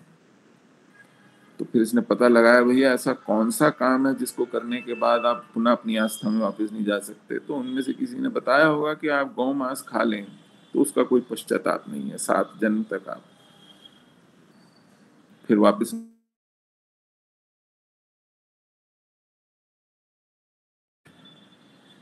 के शमसुद्दीन अराकी गाँव गाँव जाते हैं। पुरुषों को कहते हैं अपनी गाय, गाय लाइए। उनके हाथों से गौएँ कटवाते हैं। फिर महिलाओं को कहते हैं कि अब इसे पकाइए। और फिर सामूहिक भोज में सबको गौमांस खिला करके कहते हैं कि अब आप परमानेंट मुस्लिम हो गए। इस तरह कश्मीर में इस नूर बख्शिया सूफी सिलसिले ने इस्लाम का नूर फैलाया। वो लिखता है कि एक मंदिर का पुजारी शिखर पर चढ़ गया, वहाँ पर अपने साथ कुछ पत्थर वत्थर ले गया, लाठियाँ ले गया, कुछ लोगों को साथ ले गया, तीरों से, भालों से, किसी से भी। मुकाबला करता रहा, किसी तरह मंदिर बचे और ये कहते हैं कैसा मूर्ख है, हम इनको इस जहालत से निकालने आए हैं और ये इसी में डूबे रहना चाहते हैं। और जब उसको लगा कि अब कोई चारा नहीं बचा, कोई विकल्प नहीं बचा तो वो पुजारी मंदिर के शिखर से कूद कर आत्महत्या कर लेता है। ये विष्णु स्वामी मंदिर की गाथा है। तोफतुल अहबाब कहता है। जब यही बात श्रीवर लिखते हैं तो उसे खारिज कर दिया जाता है कि ये बेकार की बढ़ा चढ़ा कर की गई कहानियाँ हैं कपोल कल्पित अब तोफतुल अहबाब कहता है तो कोई जवाब नहीं। इसको इग्नोर करते हैं। बहरिस्तान शाही लिखी जो एक और फारसी का दस्तावेज़ है। कोई चर्चा नहीं। चुप्पी है। और उस समय जब चक सेना में आ गए थे तो फतेह शाह भी इन चकों के माध्यम से, पहला उसका प्रधानमंत्री था शम्स चक। अब ये सेना से प्रशासन में आ गए। और सबसे खतरनाक सुल्तान के शासकों में प्रधानमंत्री हुआ काजी चक, जिसने इतना अत्याचार किया कि श्रीवर लिखते हैं कि हिंदू जंगल जंगल पहाड़ पहाड़ भटकते थे और उनकी जिह्वा जैसे कुत्ते की जिह्वा मुँह से लटकती है भूख और प्यास से। भोजन ढूंढते हुए। ये हाल हो गया है वहाँ के स्थानीय हिंदुओं का। वो लिखते हैं कि कुछ मुसलमानों का भेष धरकर अपने परिवारजनों को ढूंढते फिर रहे हैं, परिजनों को छुपते छुपाते कि कहीं मिल जाए। कौन कहा, किस तरफ़, कैसे भागा, उनका पता नहीं। ये कश्मीर का हाल फतेह शाह ने एक मुनादी करवा दी कि जो बौद्ध या हिंदू पूजा अर्चना करता पकड़ा गया तो उसका दाहिना हाथ और बाई टांग काट दी जाए। वहीं वहीं के वहीं कोई मुकदमा चलाने की, उसको ला करके उसका अपराध सिद्ध करने की आवश्यकता नहीं। तो श्रीवर लिखते हैं कि यदि कोई अपने पूर्वजों का श्राद्ध करता हुआ, सूर्य को अर्घ देता हुआ, कहीं फुसफुसाकर जप करता हुआ भी पकड़ा जाता था या उसको ये भय, भान हो जाता था कि उसको देख लिया गया है, कुछ लोग आ रहे हैं तो वो अपना जनेयू निकाल कर फेंक देता था, तिलक मिटा देता था, कातर होकर हाथ जोड़कर कहता था, न भट्टो हम, न भट्टो हम, न भट्ट नहीं यह स्थिति श्रीवर बताते हैं कश्मीर की। आनंदवर्धन के कश्मीर की, अभिनव गुप्त के कश्मीर की, क्षेमेंद्र के कश्मीर की। जो दर्शन में, व्याकरण में, गणित में, रसायन में, गीता के रहस्य में एस्थेटिक्स में पोएटिक्स में, शिल्प में भरत मुनि के नाट्य शास्त्र की टीका में लिप्त थे। उन्हें समझ नहीं आया कि ये क्या वज्रपात हो रहा है। आशुतोष जी ने भूमिका में कहा कि उस समय के समाज के जो नेता थे, जो अग्रणी थे, कुलीन थे, वो क्या देख नहीं पाए, भाप नहीं पाए, कुछ कर क्यों नहीं पाए? बहुत बड़ा प्रश्न है। क्या परिस्थितियाँ रही? शोध का विषय है। कुछ बातें तो सामने हैं, हमारे पास उसके तथ्य हैं कि कैसे, किस छल से, किस षड्यंत्र से और किस हिंसा और बर्बरता से सामना था। समाज में ऐसी कौन सी विकृतियाँ थी? ऐसी कौन सी कमजोरियाँ थी? जिस कारण देखते देखते ये सब निपट गया, चौपट हो गया। लेकिन इस पर आज का समाज भी पुनरावलोकन करने को तैयार नहीं है। इसको पढ़ने को, जानने को तैयार नहीं है। इसकी समीक्षा और विश्लेषण को तैयार नहीं है। तो किसी ने सच ही कहा है। कि when we forget our history when we ignore our history we are condemn to repeating it in future over and over again history first visits us as a tragedy and then revisits us as a farce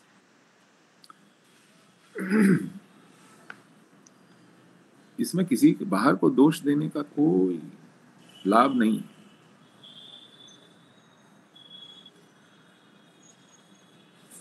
चक रहे 20 वर्ष तक।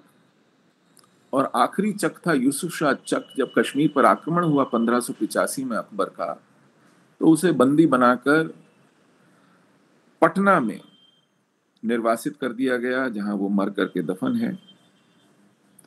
और फिर मुगल शासन की शुरुआत होती है कश्मीर में। जैसा मैंने कहा, अकबर को लेकर के हमने बहुत महिमा मंडन किया है। जो पूर्ववर्ती शासन थे अकबर के, चाहे वो फतेह शाह का हो या उससे पहले सिकंदर बुद्ध शिकन का हो, एक बहुसंख्यक समुदाय को जब आप इस तरह आतंकित करते हैं, अर्थव्यवस्था का छिन्न भिन्न होना, नष्ट हो जाना तो फिर समझ में आता है? और ऐसे में राजस्व का घट जाना भी समझ में आता है। ऐसे में पूरी सामाजिक व्यवस्था का छिन्न भिन्न हो जाना समझ में आता है। तो राजा के लिए वो भी एक बड़ी कष्ट की बात है, क्योंकि राजस्व कहाँ से आएगा? देने वाले कौन होंगे? काम करने वाले कौन होंगे? तो ऐसी मजबूरियों में अकबर जिसको राजस्व की भी चिंता थी, उसने पता किया, भाई, कौन थे? क्या थे? कैसे काम होता था? उन्हें वापस लाओ। उसके अपनी स्वार्थ थे और हम सोचते हैं कि उसने उपकार करना शुरू किया। तो ये उपकार का भी समय आया और समुदाय अपने तीर्थों को, अपने घरों को, अपने मंदिरों को, अपने परिजनों को ढूंढता हुआ फिर लौटा, फिर बसा। जैनुल आबदीन की भी यही वजह रही। क्यों मैं उसे बहुत उदारवादी नहीं मानता हूँ और हिंदुओं के प्रति आसक्त या दया रखने वाला नहीं मानता हूँ, क्योंकि जब उसकी माँ मरी तो उसने एक मंदिर को उसका मकबरा बनाया। मंदिर तोड़कर, मेरे ननिहाल से ज़्यादा दूर नहीं है जैना कदल के रास्ते में, उसको जैना कदल ही इसलिए कहते हैं क्योंकि वो जैनुल आबदीन के नाम पर है। और वहीं उसकी माँ का मकबरा है। आज भी उसके दीवारों पर आप संस्कृत में और हमारे मोटिव्स जो हैं कमल है उसकी उकेरी हुई आकृतियाँ वहाँ के स्तंभों पर, वहाँ के दीवारों पर देख सकते हैं। तो लेकिन हम कुछ भी मान लेते हैं बिछ जाते हैं। और यही बात अकबर के समय में हुई, उसको हम कहते हैं कि कश्मीर में पुनः हिंदू फिर से लौटे, जो बार बार निष्कासित हुए बार बार लौटे। लेकिन ये काल ज़्यादा समय तक नहीं चला। जहांगीर, जिसको कहते हैं कि वो बहुत न्याय प्रिय था, उसने मुनादी करा दी कि कोई हिंदू मर्द किसी मुसलमान औरत से विवाह नहीं कर सकता। उलट की बात नहीं कही उसने कि कोई कोई मुसलमान आदमी हिंदू औरत से विवाह नहीं कर सकता। नहीं, वो जायज़ था। हिंदू मर्द किसी मुसलमान औरत से शादी नहीं कर सकता। यही नहीं। उसने हिंदू कुलीन परिवारों को बाध्य किया कि वो उसके अफसरों और सूबेदारों के साथ अपनी बेटियों का विवाह करें। ह्यूमिलिएट करने की और दबाने की, अपना वर्चस्व स्थापित करने की, ये आम कोशिश है। नूर जहाँ जो जहांगीर की बेगम थी, जब वो कश्मीर आई तो उसने शंकराचार्य पर्वत से झेलम तक पहाड़ पर एक बहुत सुंदर सीढ़ियों का सिलसिला था, जो गोपादित्य ने बनवाया था, आज से 2000 साल पहले। और झेलम का जल लेकर शंकराचार्य जाता था पर्वत, वहाँ अभिषेक करता था, शिवलिंग उन तराशी हुई बड़ी बड़ी शिलाओं की वो सीढ़ियाँ खुदवा दी निकलवा दी। उनसे एक मस्जिद बनवाई श्रीनगर में जो आज भी है जिसको पत्थर मशीद कहते हैं। पत्थर की बनी हुई सारी। उस पर बहुत खर्चा हुआ। उन दिनों अकाल था कश्मीर में तो पूछा किसी मौलवी ने कि भाई कितना खर्च आया है ये मस्जिद बनवाने में? सूरजहां को नूरजहां को लगा कि ये आ, मेरे इस काम से थोड़ा बिदका हुआ है तो उसने गुस्से में कहा कि जितनी मेरी बाएँ पाँव की जूती का मूल्य नहीं है, उससे कम में बनी है ये। तो मस्जिद का ये अपमान सुनकर उसने हराम जायज़ कर दिया उस मस्जिद में नमाज़ पढ़ना तो बीसियों वर्ष तक वो मस्जिद यूँ ही खड़ी रही, वहाँ नमाज़ नहीं पढ़ी गई। बर्नियर जो उस समय के एक अंग्रेज़ इतिहासकार थे, यूरोपियन हिस्टोरियन थे, उन्होंने कहा कि आसपास के मंदिरों से कैसे दरवाजे और खंबे उखाड़ करके लाए गए। जो बेशकीमती थे, बहुत सुंदर थे। शाहजहां के दौर में भी इसी तरह चौदह सूबेदार नियुक्त किए गए कश्मीर के एक से बढ़कर एक आदत आई उसे भी बहुत भवन निर्माण का कामी मनाया जाता है, जिसने ताजमहल बनाया, शाहजहां ने लाल किला बनाया, जामा मस्जिद बनाई, ये बनाया, वो बनाया। उसका काल भी कश्मीर में बहुत भयानक रहा। मुगल काल में एक के बाद एक पलायन हुए, और सबसे बड़ा पलायन तो औरंगज़ेब के समय हुआ। जब उसका सूबेदार था इफ्तार खां। यहाँ सूफियों ने जब उसकी मदद की, अपने भाई को मरवा कर खुद बादशाह बनने में, औरंगज़ेब से बड़ा एक भाई था जो, जिसको तख्त पर बैठना था। जो कश्मीर गया, उसने संस्कृत पढ़ी। संस्कृत पढ़ करके उसने सिर अकबरी लिखी, जो उपनिषदों का अनुवाद है। फारसी में लिखी गई ये पुस्तक यूरोप में पहुँचती है, इसका फ्रेंच में अनुवाद होता है। फ्रेंच लिंगुआ फ्रांका है यूरोप की। फ्रेंच में अनुदित इस पुस्तक को जब जर्मन इंडोलॉजिस्ट पढ़ते हैं, तब उनका भारत आने का सिलसिला शुरू होता है। उनकी संस्कृत में, भारतीय संस्कृति में रुचि उत्पन्न होती है। ऐसे दारा शिको की गर्दन उतरवाने में उन नक्शबंदी सूफियों ने मदद की, औरंगज़ेब की। और जब औरंगज़ेब बादशाह बन गया तो इन नक्शबंदी सूफियों ने पूछा उससे कि इस मुल्क में अब इस्लाम कैसे लाओगे, कब लाओगे? बादशाह तो बन गए। ने कहा, वहाँ से शुरू करो जहाँ तुम्हारा भाई भटका था कश्मीर। तो सूबेदार इफ्तार खां को बोला गया कि कश्मीर को मुसलमान करो। और तब ये रलिव गलिव चलिव रलिव यानी रल जाओ, यानी मुसलमान हो जाओ गलिव यानी गल जाओ, यानी मर जाओ, और चलिव यानी अगर भाग सको जान बचा के तो भाग जाओ। ये तीन विकल्प दिए गए और हमारा एक पूर्वज कृपाराम दत्त 500 लोगों का जत्था लेकर अनंतपुर साहब आया। गुरु तेग बहादुर की शरण में और कहा कि जनेयू और तिलक की रक्षा करें। आप सब परिचित हैं, फिर कैसे? गुरु तेग बहादुर जी का शीश लिया गया, उनके शिष्यों, भाई मतीदास, भाई सतीदास, भाई दयाला को अमानवीय यातनाएँ देकर सामूहिक सार्वजनिक रूप से उनका क्या हश्र किया गया? और जिसके बाद गुरु गोविंद सिंह जी ने खालसा सजाए। और उस इतिहास से आप सब परिचित हैं। लेकिन ये कश्मीर द्वारा ही, कश्मीर की परिस्थितियों द्वारा ही प्रेरित घटनाक्रम है।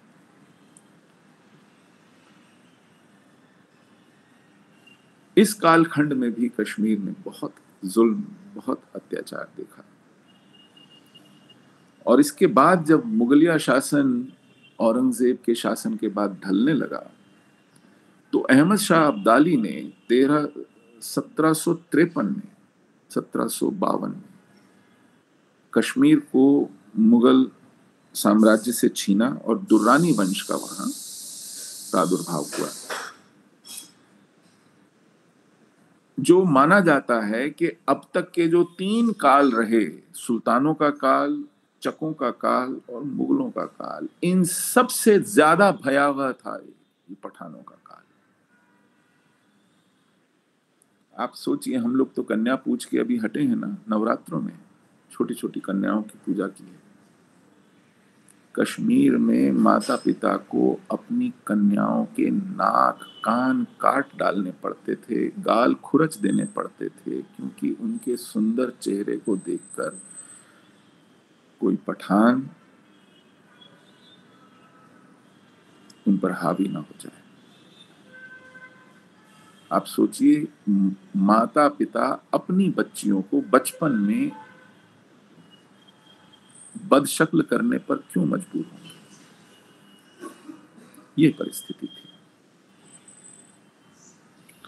और जब अति हो गई, फिर एक मेरे पूर्वज बीरबल धर अपने बेटे के साथ महाराजा रंजीत सिंह के पास आए और कहा कि हमें मुक्ति दिलाइए। महाराजा रंजीत सिंह को विश्वास नहीं हुआ तो उन्होंने कहा कि क्या ये ट्रैप है? क्योंकि वो एक दो बार कोशिश कर चुके थे। सेना सफल नहीं हुई थी। उन्होंने कहा, ये मेरा बेटा अपने पास रखिए। यदि आपको जरा भी संदेह हो तो आप इसको मार दीजिए। तो बीरबल धर के साथ उन्होंने सेना भेजी, जिन्होंने पठान वंश का सूर्यास्त किया कश्मीर में 1819 में। तो तेरह से 1819 ये 480 वर्ष का कालखंड है, जिसमें कटते कटते घटते घटते कश्मीर की जनसंख्या में से हिंदुओं का अनुपात 10-15 प्रतिशत रह गया।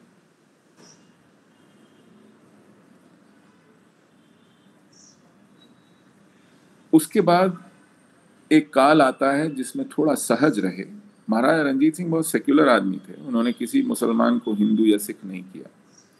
उन्होंने किसी छीने हुए मंदिर को वापस नहीं लिया, किसी मस्जिद को नहीं तोड़ा, किसी मस्जिद की एक ईंट नहीं हटाई। कुछ नहीं, सब यथावत चलता रहा।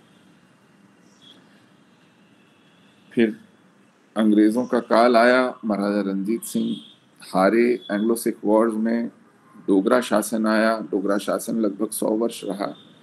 ये रिलेटिवली पीसफुल टाइम था, लेकिन आप सोचिए, अब तक 80 प्रतिशत से ज़्यादा जनसंख्या कश्मीर की, कश्मीर घाटी की, इस्लाम स्वीकार कर चुकी थी और उसमें हिंदू अल्पमत में आ गए थे। और अल्पमत में रहते हुए आप एक बहुसंख्यक इस्लामिक समाज में कैसे रहते हैं, रह पाते हैं, इसकी कल्पना कीजिए। तो क्योंकि शासन सिख और हिंदुओं के हाथ में था तो उतना आतंक नहीं था। लेकिन एक एक आक्रामकता थी एक आ, सहजता का अभाव था उसके बावजूद हम रहते रहे। बहुत बड़ी घटना घटती है 1931 में 13 जुलाई के दिन जो आधुनिक इतिहास में मध्ययुगीन इतिहास की बात नहीं कर रहा अभी सौ साल भी नहीं हुए इस घटना को एक बड़ा आयोजित हिंसक उपक्रम था शेख अब्दुल्ला के नेतृत्व में, जिसमें फिर से पलायन होता है। और इसके ऊपर मैंने एक डिटेल आर्टिकल रिसर्च आर्टिकल लिखा है।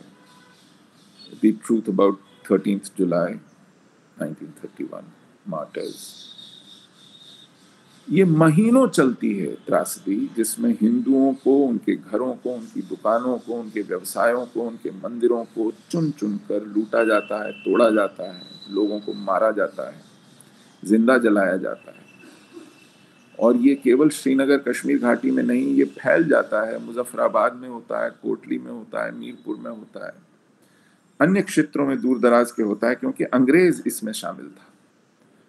अंग्रेज़ चाहता था कि ऐसा दंगा हो, क्योंकि उसे मालूम था ये एकमात्र ऐसा राज्य है, रियासत है, जो मुस्लिम बहुल है, जिसका राजा हिंदू है, और वो राजा उनकी बात नहीं सुन रहा है।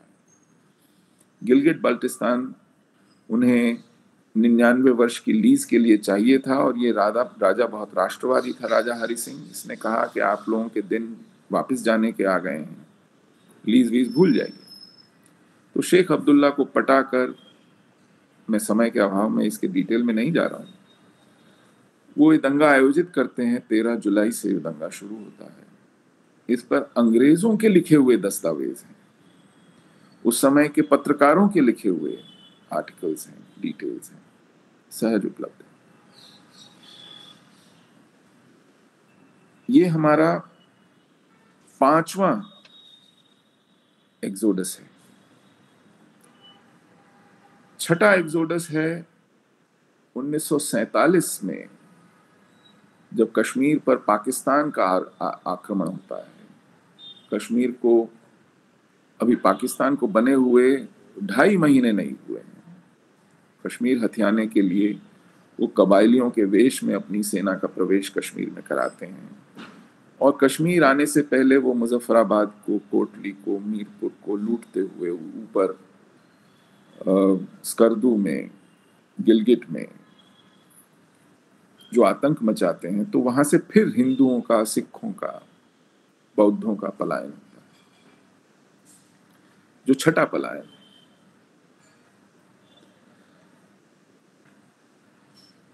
श्रीनगर से भी तब पलायन करते हैं लोग, क्योंकि ये पठान बारामूला को चीरते हुए श्रीनगर के शालटेंग तक पहुँच गए थे। और इन्होंने जो बर्बरता की है रास्ते में, हिंदुओं के साथ। लोमहर्षक है।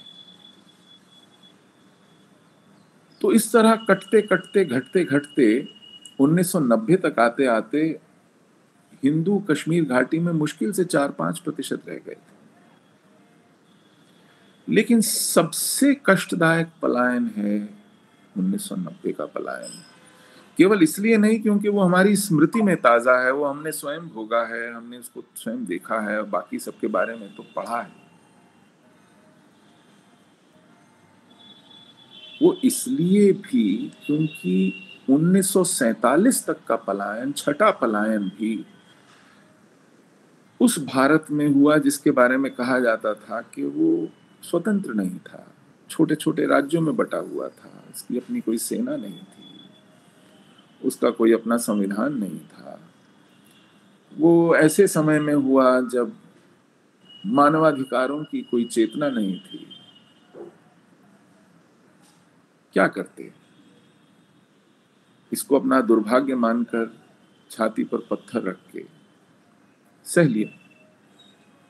ये जो सातवां पलायन है 1990 का, भारत 90 करोड़ का एक राष्ट्र 15 लाख की बड़ी फौज थी।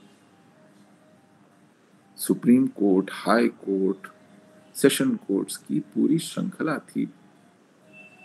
पैरामिलिट्री फोर्सेस थी, पुलिस थी, जीता जागता प्रेस था। 1948 के ह्यूमन राइट्स की, यूनाइटेड नेशंस की मानवाधिकारों की घोषणा थी, जिस पर भारत ने हस्ताक्षर किए। यूनाइटेड नेशंस का एक प्रिंसिपल है responsibility to protect R to P हर देश के शासन पर ये उत्तरदायित्व है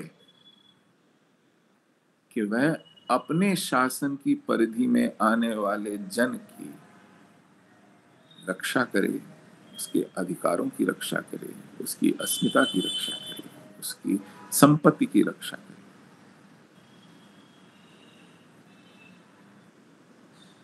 ये सब धरा का धरा रह गया हमारे 800 सांसदों की चुनी हुई संसद और एक मज़बूत प्रधानमंत्री द्वारा चलाई गई सरकार और उसके ये सब अव्यय किसी काम नहीं आए।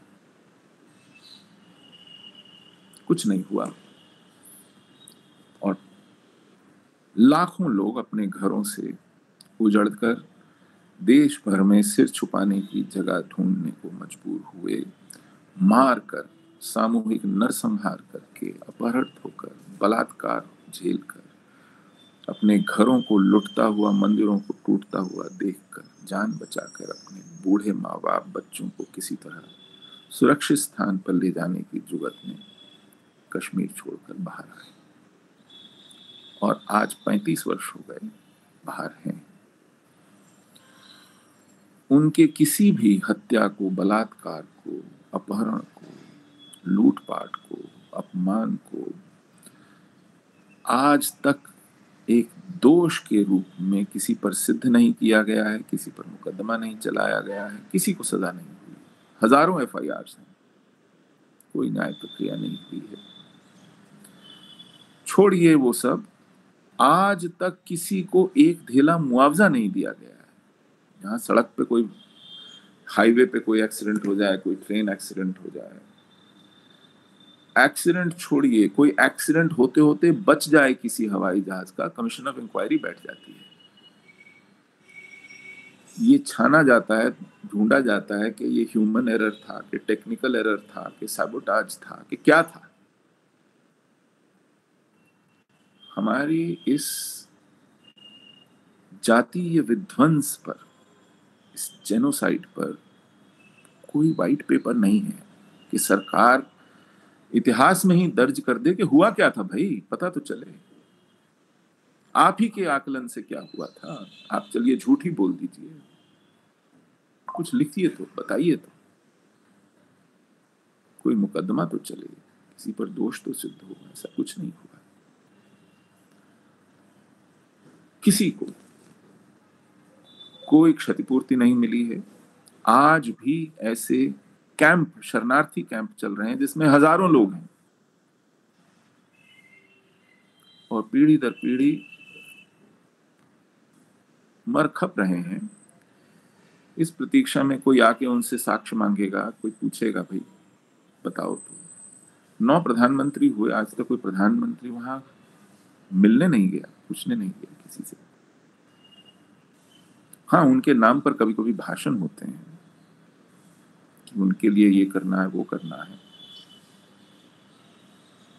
अपने ही देश में शरणार्थी हैं।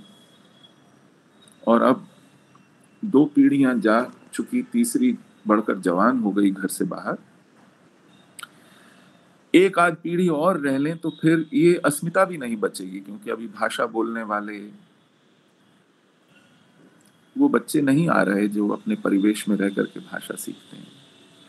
सत्तर अस्सी प्रतिशत विवाह जो हैं समुदाय के बाहर हो रहे हैं।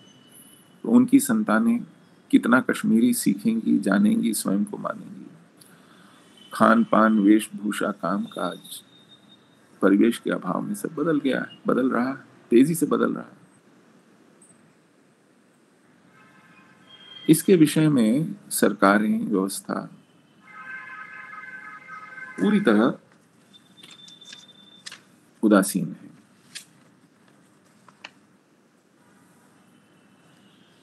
उन्नीस में जब भारत स्वतंत्र हुआ, सैकड़ों वर्ष की दास्ता के बाद तो सब उत्सव मना रहे थे। कश्मीर को जब शेख अब्दुल्ला को सौंपा गया, फिर एक मुसलमान को सौंप दिया गया, उसी अवसर पर, नेहरू की जिद के चलते तो हमारे लिए क्या उपाय बचता?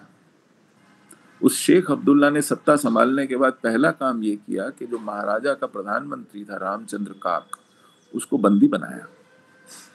बंदी बनाकर जब उसे सब जेल से हाईकोर्ट ले जाया जा रहा था, उसके हाथ रस्सी से बांधे गए और उसको पैदल गलियों सड़कों पर चलाते हुए हाईकोर्ट ले जाया गया और लोगों को इकट्ठा करके उस पर कूड़ा फेंका गया, थूका गया, मल फेंका गया गालियाँ दी गई, पत्थर मारे गए। उस रामचंद्र का जो प्रधानमंत्री था। और ये सब नेहरू ने होने नहीं दिया, करवाया। और ये रामचंद्र का का अपमान नहीं था, ये हम हिंदुओं को बताया जा रहा था सार्वजनिक तौर पे कि तुम्हारा क्या हश्र होना है अभी, देखो। उस शेख अब्दुल्ला की ये टिप्पणी थी कि मैं उन हिंदू महिलाओं से बर्तन मंजवाऊँगा मुसलमान घरों में। तब शांति पड़ेगी मुझे।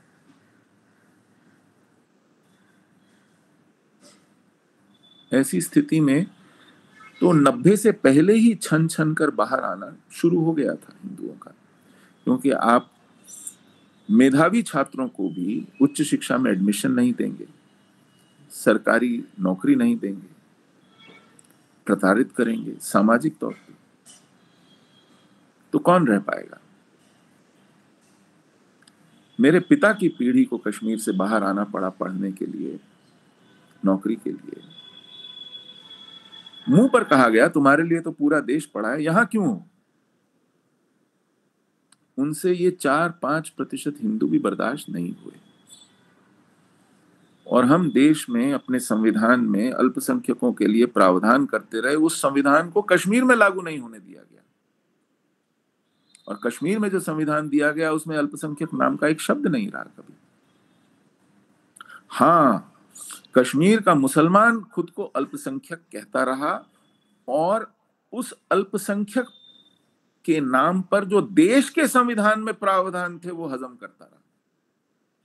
और ये देश ऐसा होने देता रहा। और आज भी हो रहा है। कोई नई बात, बड़ी बात नहीं है। तो कश्मीर आज अपने आप में झांकी है उस भविष्य की जो ईश्वर ना करे इस देश में घटने वाला है। ऐसा मेरा मानना है।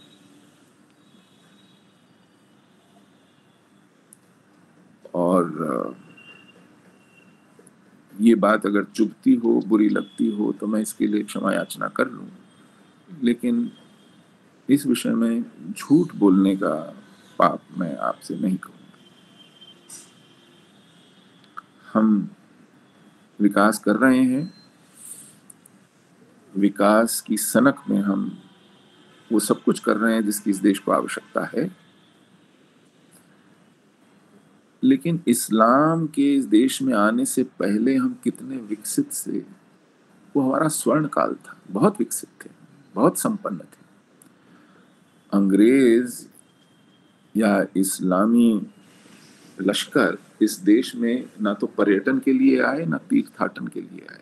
वो इस देश की संपन्नता और विकास से आकर्षित होकर आए थे, यहाँ माल देख कर आए थे।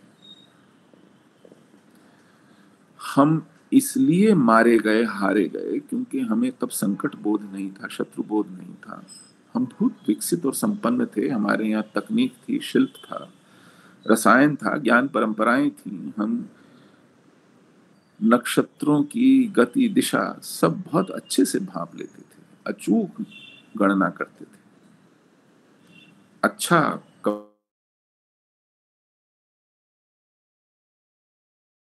की सोने चांदी की अच्छी परख थी। हमारे पास सब कुछ अच्छा था। वो संकट बोध और शत्रु बोध नहीं था। और उससे जो एक दायित्व बोध आता है, वो तो होना ही नहीं था। जो एक कर्तव्य बोध आता है तो होना ही नहीं था। आज भी उसका नितांत अभाव है। तो 200 2047 तक हम जिस एक विकसित राष्ट्र को बना रहे हैं, मातृभूमि के रूप में एक गाय को पाल पोस कर हट्टा कट्टा कर रहे हैं।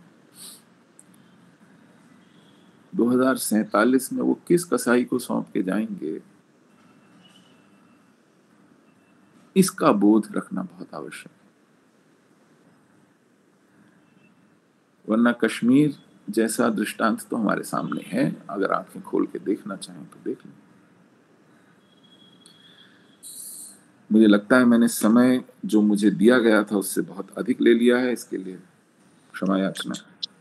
नहीं बिल्कुल भी नहीं बिल्कुल भी नहीं समय आपने अधिक ले लिया इस समय से ये तो अतीत की बातें थी।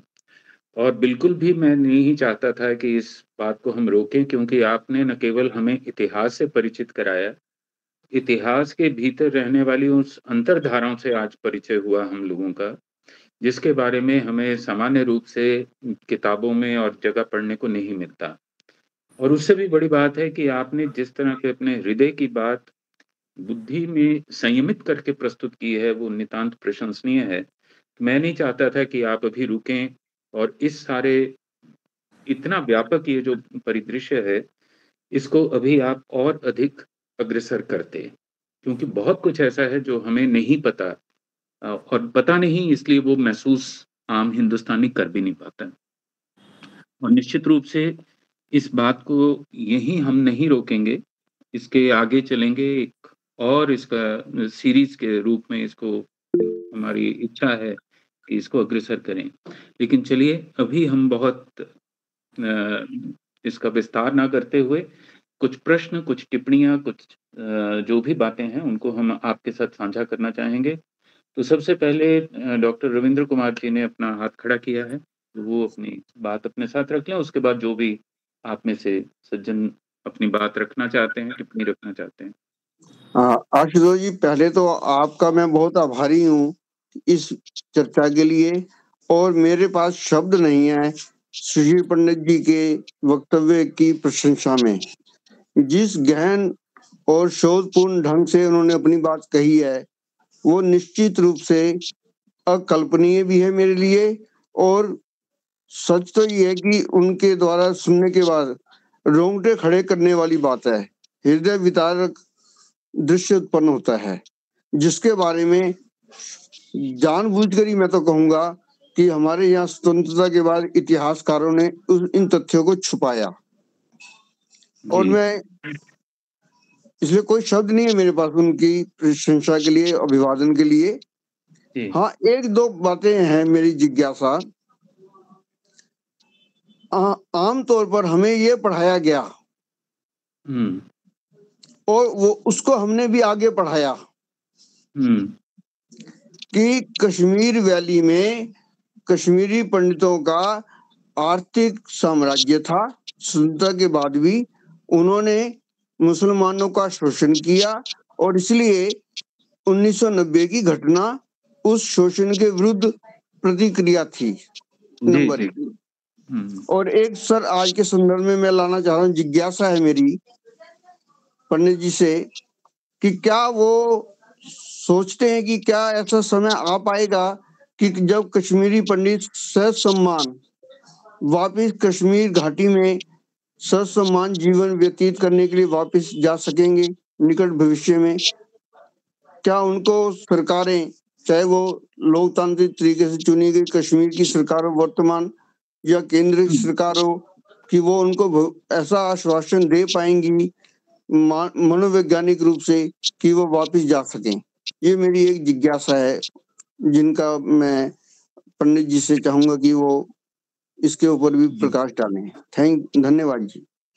आ, सर आप एक साथ सभी प्रश्नों को लेना चाहेंगे या एक एक करके इसी तरह से टिप्पणी करना चाहेंगे उन पे? अनम्यूट कर लीजिए सर। अगर इससे मिलते जुलते कुछ अन्य भी प्रश्न हो तो मैं एक साथ उन पर। अच्छा। ठीक है देख लेते हैं। तो पहले सुभाष जदू जी और उसके बाद मुझे लगता है शायद अर, अरविंद कुलकर्णी जी बेंगलोर से शायद वो भी अपनी बात रखना चाहेंगे। जी पहले सुभाष जी। आशुतोष जी धन्यवाद। कश्मीरी में दो तो शब्द है। धन्यवाद तो आपका सुशील जी के लिए कश्मीरी में दो शब्द बोलना चाहूँगा आप लोग थोड़ा सा हमें अपनी गुंजाइश रख लीजिएगा।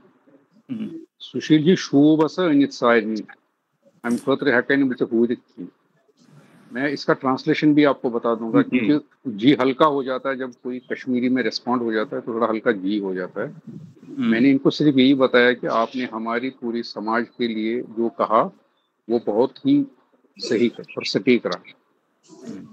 मैं आपके वक्ताओं को एक और बात साझा करना चाह रहा हूँ। मेरा कोई सुशील जी से प्रश्न नहीं है क्योंकि मैं और सुशील जी तो सभी प्रश्न ही बन गए अब इस भारतवर्ष में। हम्म। जब हमारा नाइन्टी में लोग दरबदर हो रहे थे तो मैं उस वक्त लखनऊ में था हम्म। उस वक्त वहाँ पे मुख्यमंत्री थे मुलायम सिंह जी हम्म। वहाँ एक एलडीए के बने हुए कुछ फ्लैट्स पड़े हुए थे जो यूज़ हम्म। नहीं हो रहे थे उसमें पानी बिजली था नहीं या बने हुए थे जैसे सरकारी उन टाइम पे एक्सटेंशन बनाया करते थे।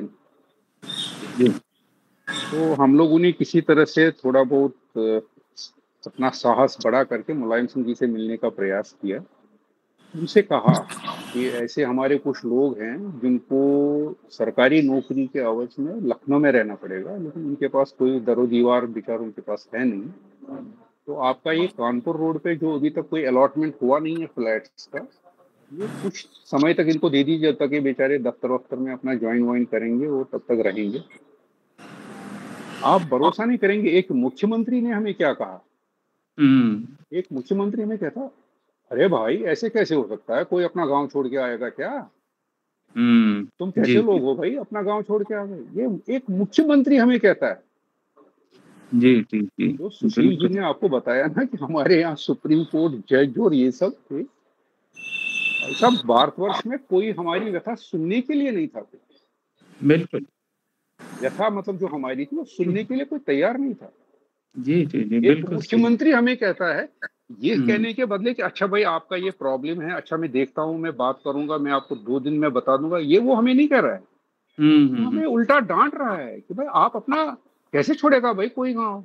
अब हम उसको कैसे बताएँगे? भैया हम किसी डकैत तुम्हारे आगरा वाले डकैत से वहाँ लड़ नहीं रहे हैं। वहाँ ए के फोर्टी सेवन और मिसाइल गन्स चल रहे हैं। जी जी बिल्कुल। यस मैं सोचा आप लोगों को साझा कर लूँ कि हमारी व्यथा उस वक्त 1990 में क्या थी? जी जी बिल्कुल इसको साझा किया जाना चाहिए था क्योंकि ये आप लोग नहीं बताएँगे तो ये कहाँ पता लगेगा? अखबारों में तो ये छपने से रहा है इस तरह से। अखबार की बात तो छोड़ दीजिए अखबार तो बिके हुआ है समाज है वो तो, तो बिका हुआ है उसको तो कोई पूछना ही नहीं है वो तो बिका हुआ समाज धन्यवाद।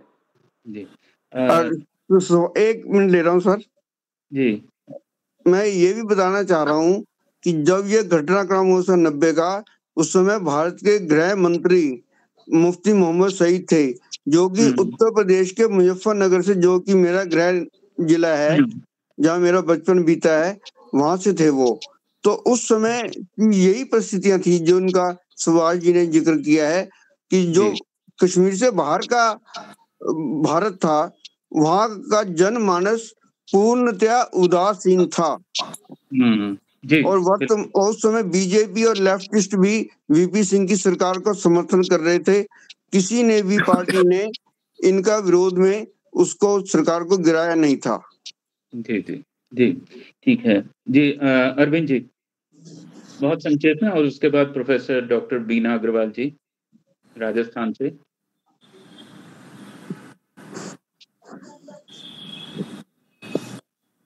अरविंद जी, चलिए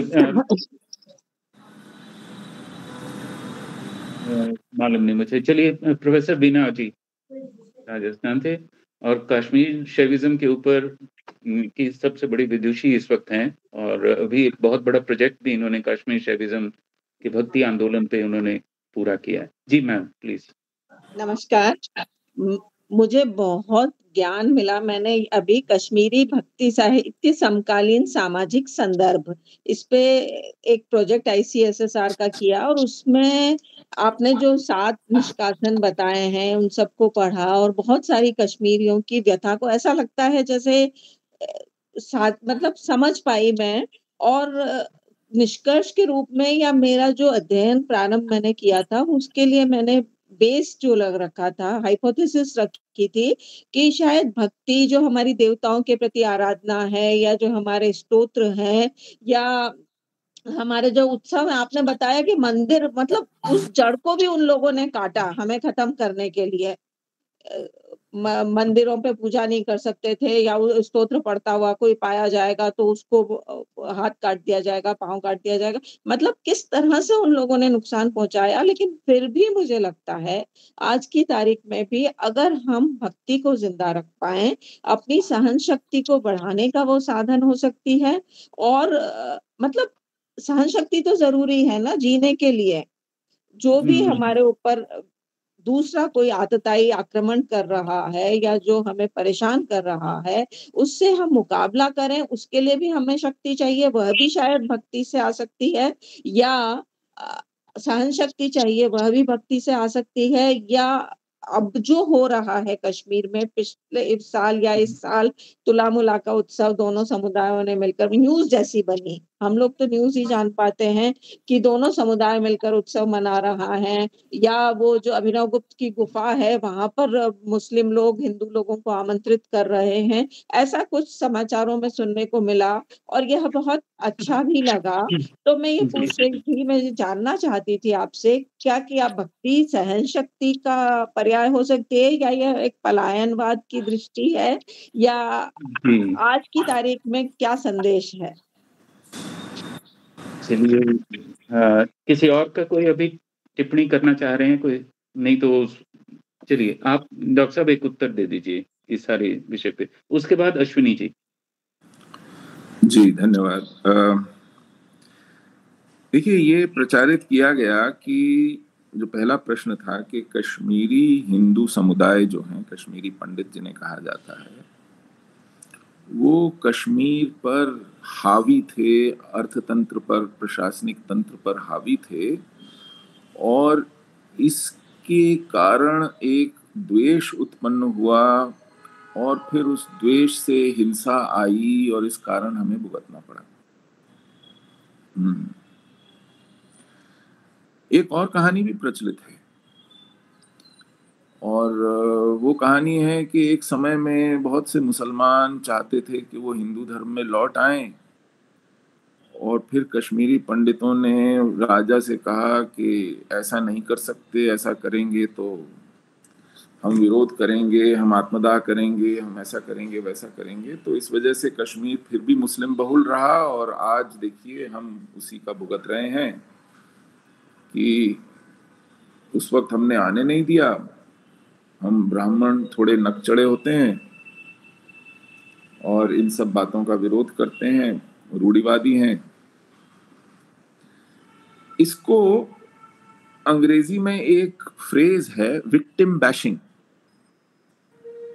जब आप पीड़ित को ही दोषी बनाते हैं, उसकी स्थिति के लिए, परिस्थिति के लिए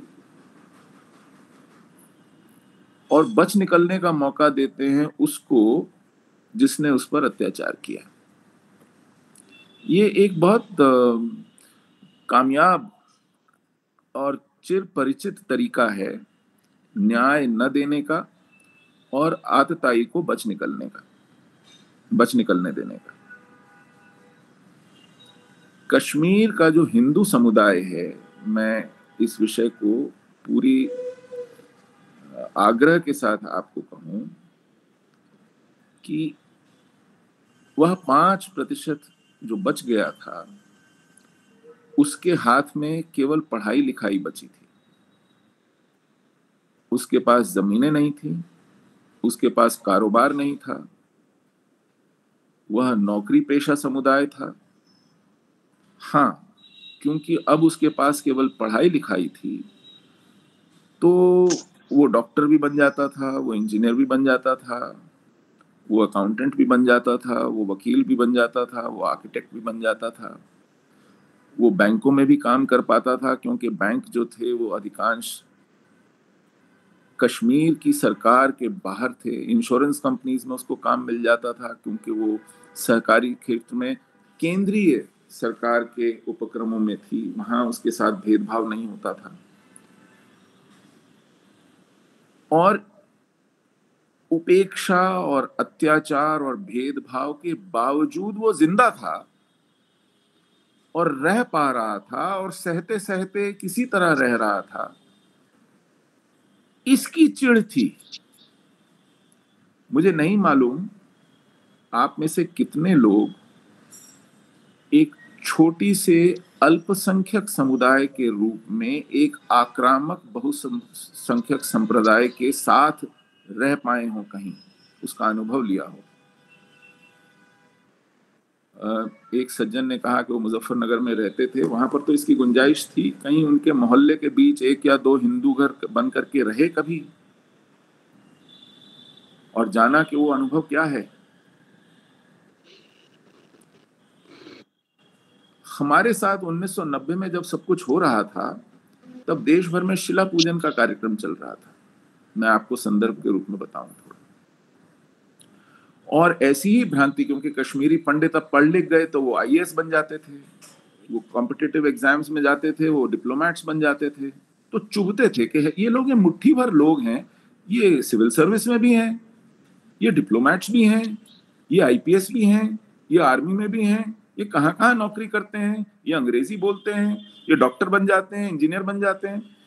ये एक बहुत बड़ा द्वेष पालने का कारण बन गया था हम लोगों के खिलाफ। और पूरा जो राजनैतिक परिदृश्य था, एक स्पेक्ट्रम था, जिसे आप जिसमें हर शेड की, हर आइडियोलॉजी की राजनीति सम्मिलित है, मैं बताता हूँ उन्होंने कैसे लिया हमको। जो लेफ्टिस्ट था लेफ्टिस्ट राजनीति जो थी, पॉलिटिक्स थी, उसने कश्मीरी पंडित हिंदू को बुर्जुआ के रूप में देखा। क्योंकि वो व्हाइट कॉलर था, वो हाथ से काम करने वाला नहीं था। तो उसके लिए ये बुर्जुआ था, इसलिए हे था। तो इन्होंने इग्नोर किया। जो दलित राजनीति थी देश की, उसके लिए ये ब्राह्मण था। तो ब्राह्मण था तो फिर हमारा इससे क्या लेना देना है? जो मुलायम सिंह, लालू यादव वाली पिछड़ी राजनीति थी, उसके लिए ये अगड़ा था। तो अगड़े से क्या लेना देना है? तो इसलिए उसने भी उपेक्षा की। जो कांग्रेसी राजनीति थी, जो अल्पसंख्यकों की राजनीति करती थी, उसके लिए ये बहुसंख्यक था। और बहुसंख्यक भी उस जगह पे जहाँ अल्पसंख्यकों का बोलबाला है तो क्या लेना देना है? उसके लिए प्राथमिकता जो है वो मुस्लिम वोट बैंक था तो उसने भी उपेक्षा की। अब बची ये हिंदुत्व वाली राष्ट्रवादी राजनीति। उसके लिए हम जवाहरलाल नेहरू और इंदिरा गांधी के रिश्तेदार थे। कश्मीरी पंडित थे ना? सही बिल्कुल सही कहा। उसके लिए हम ये नक चढ़े जो अपने अनुपात से कहीं ज़्यादा सत्ता का सुख भोग रहे थे, शासन कर रहे थे, हम वो थे, मरने दो सालों को। तो हम अपने देश में अगर अनाथ हो गए, उपेक्षित हो गए और आज भी हैं तो उसके कारण ढूँढने के लिए कोई विशेष शोध की आवश्यकता नहीं है। मानस में हमारे एटीट्यूड में, व्यवहार में आपको ये दिख जाएगा। मैंने आपके सामने पूरा स्पेक्ट्रम रख दिया है। इसके बाद कौन बचता है?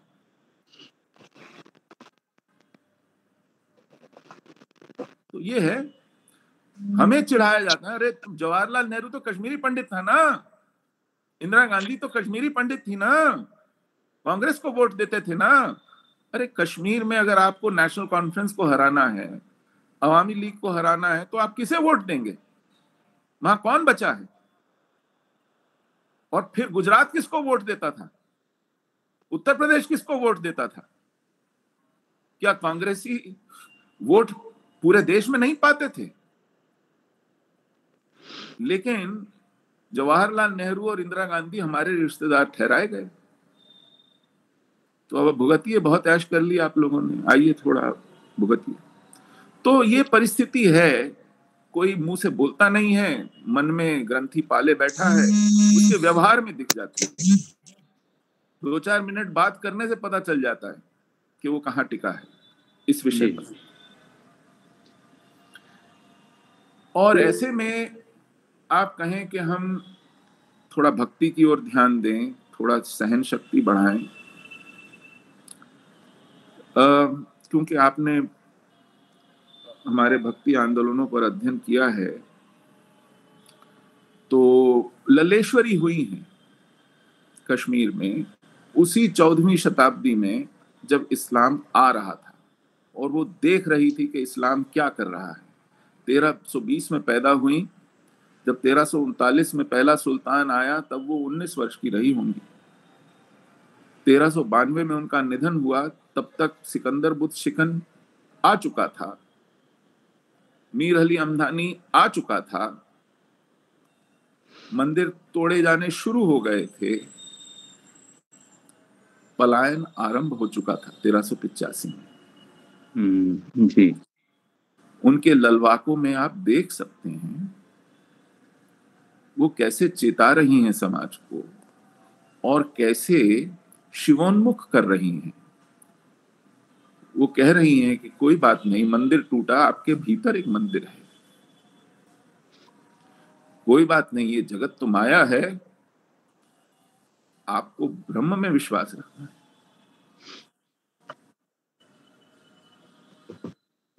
उनके वाक इतने प्रचलित हुए, उन्होंने कहीं लिखे नहीं, किसी कागज़ पर नहीं लिखे। वो उस समुदाय के मानस पर अंकित हो गए। और जनश्रुतियों में जीवित रहे, वार्तालापों में जीवित रहे, संवादों में व्यवहार में जीवित रहे, आज भी वो जीवित हैं। और यदि आपको उनके अनुवाद मिल जाए तो देखिएगा कि ये समाज कैसे अपनी आस्था को बचाए हुए कटते कटते, घटते घटते यहाँ तक पहुँचा है। जी। सर इसके बाद दो लोगों का और टिप्पणी है। श्री अजय भारद्वाज जी जो कि senior very senior journalist Chandigarh में है। उसके बाद डॉक्टर प्रोफेसर रमेश वर्मा जी। धन्यवाद जी। जी अजय जी। आवाज़ आ रही हाँ? जी हाँ जी आ रही है। सुशील जी को पहले बहुत बहुत बधाई। जिस इनसाइसिव पर्सपेक्टिव में उन्होंने सारा ये हमारे साथ शेयर किया थॉट और हिस्ट्री एक बड़ा अभद्र सा सवाल है, सुशील जी, कि आपने जित मतलब सुनवाए हैं, जो पंडितों के हुए हैं फ्रॉम कश्मीर और जे के।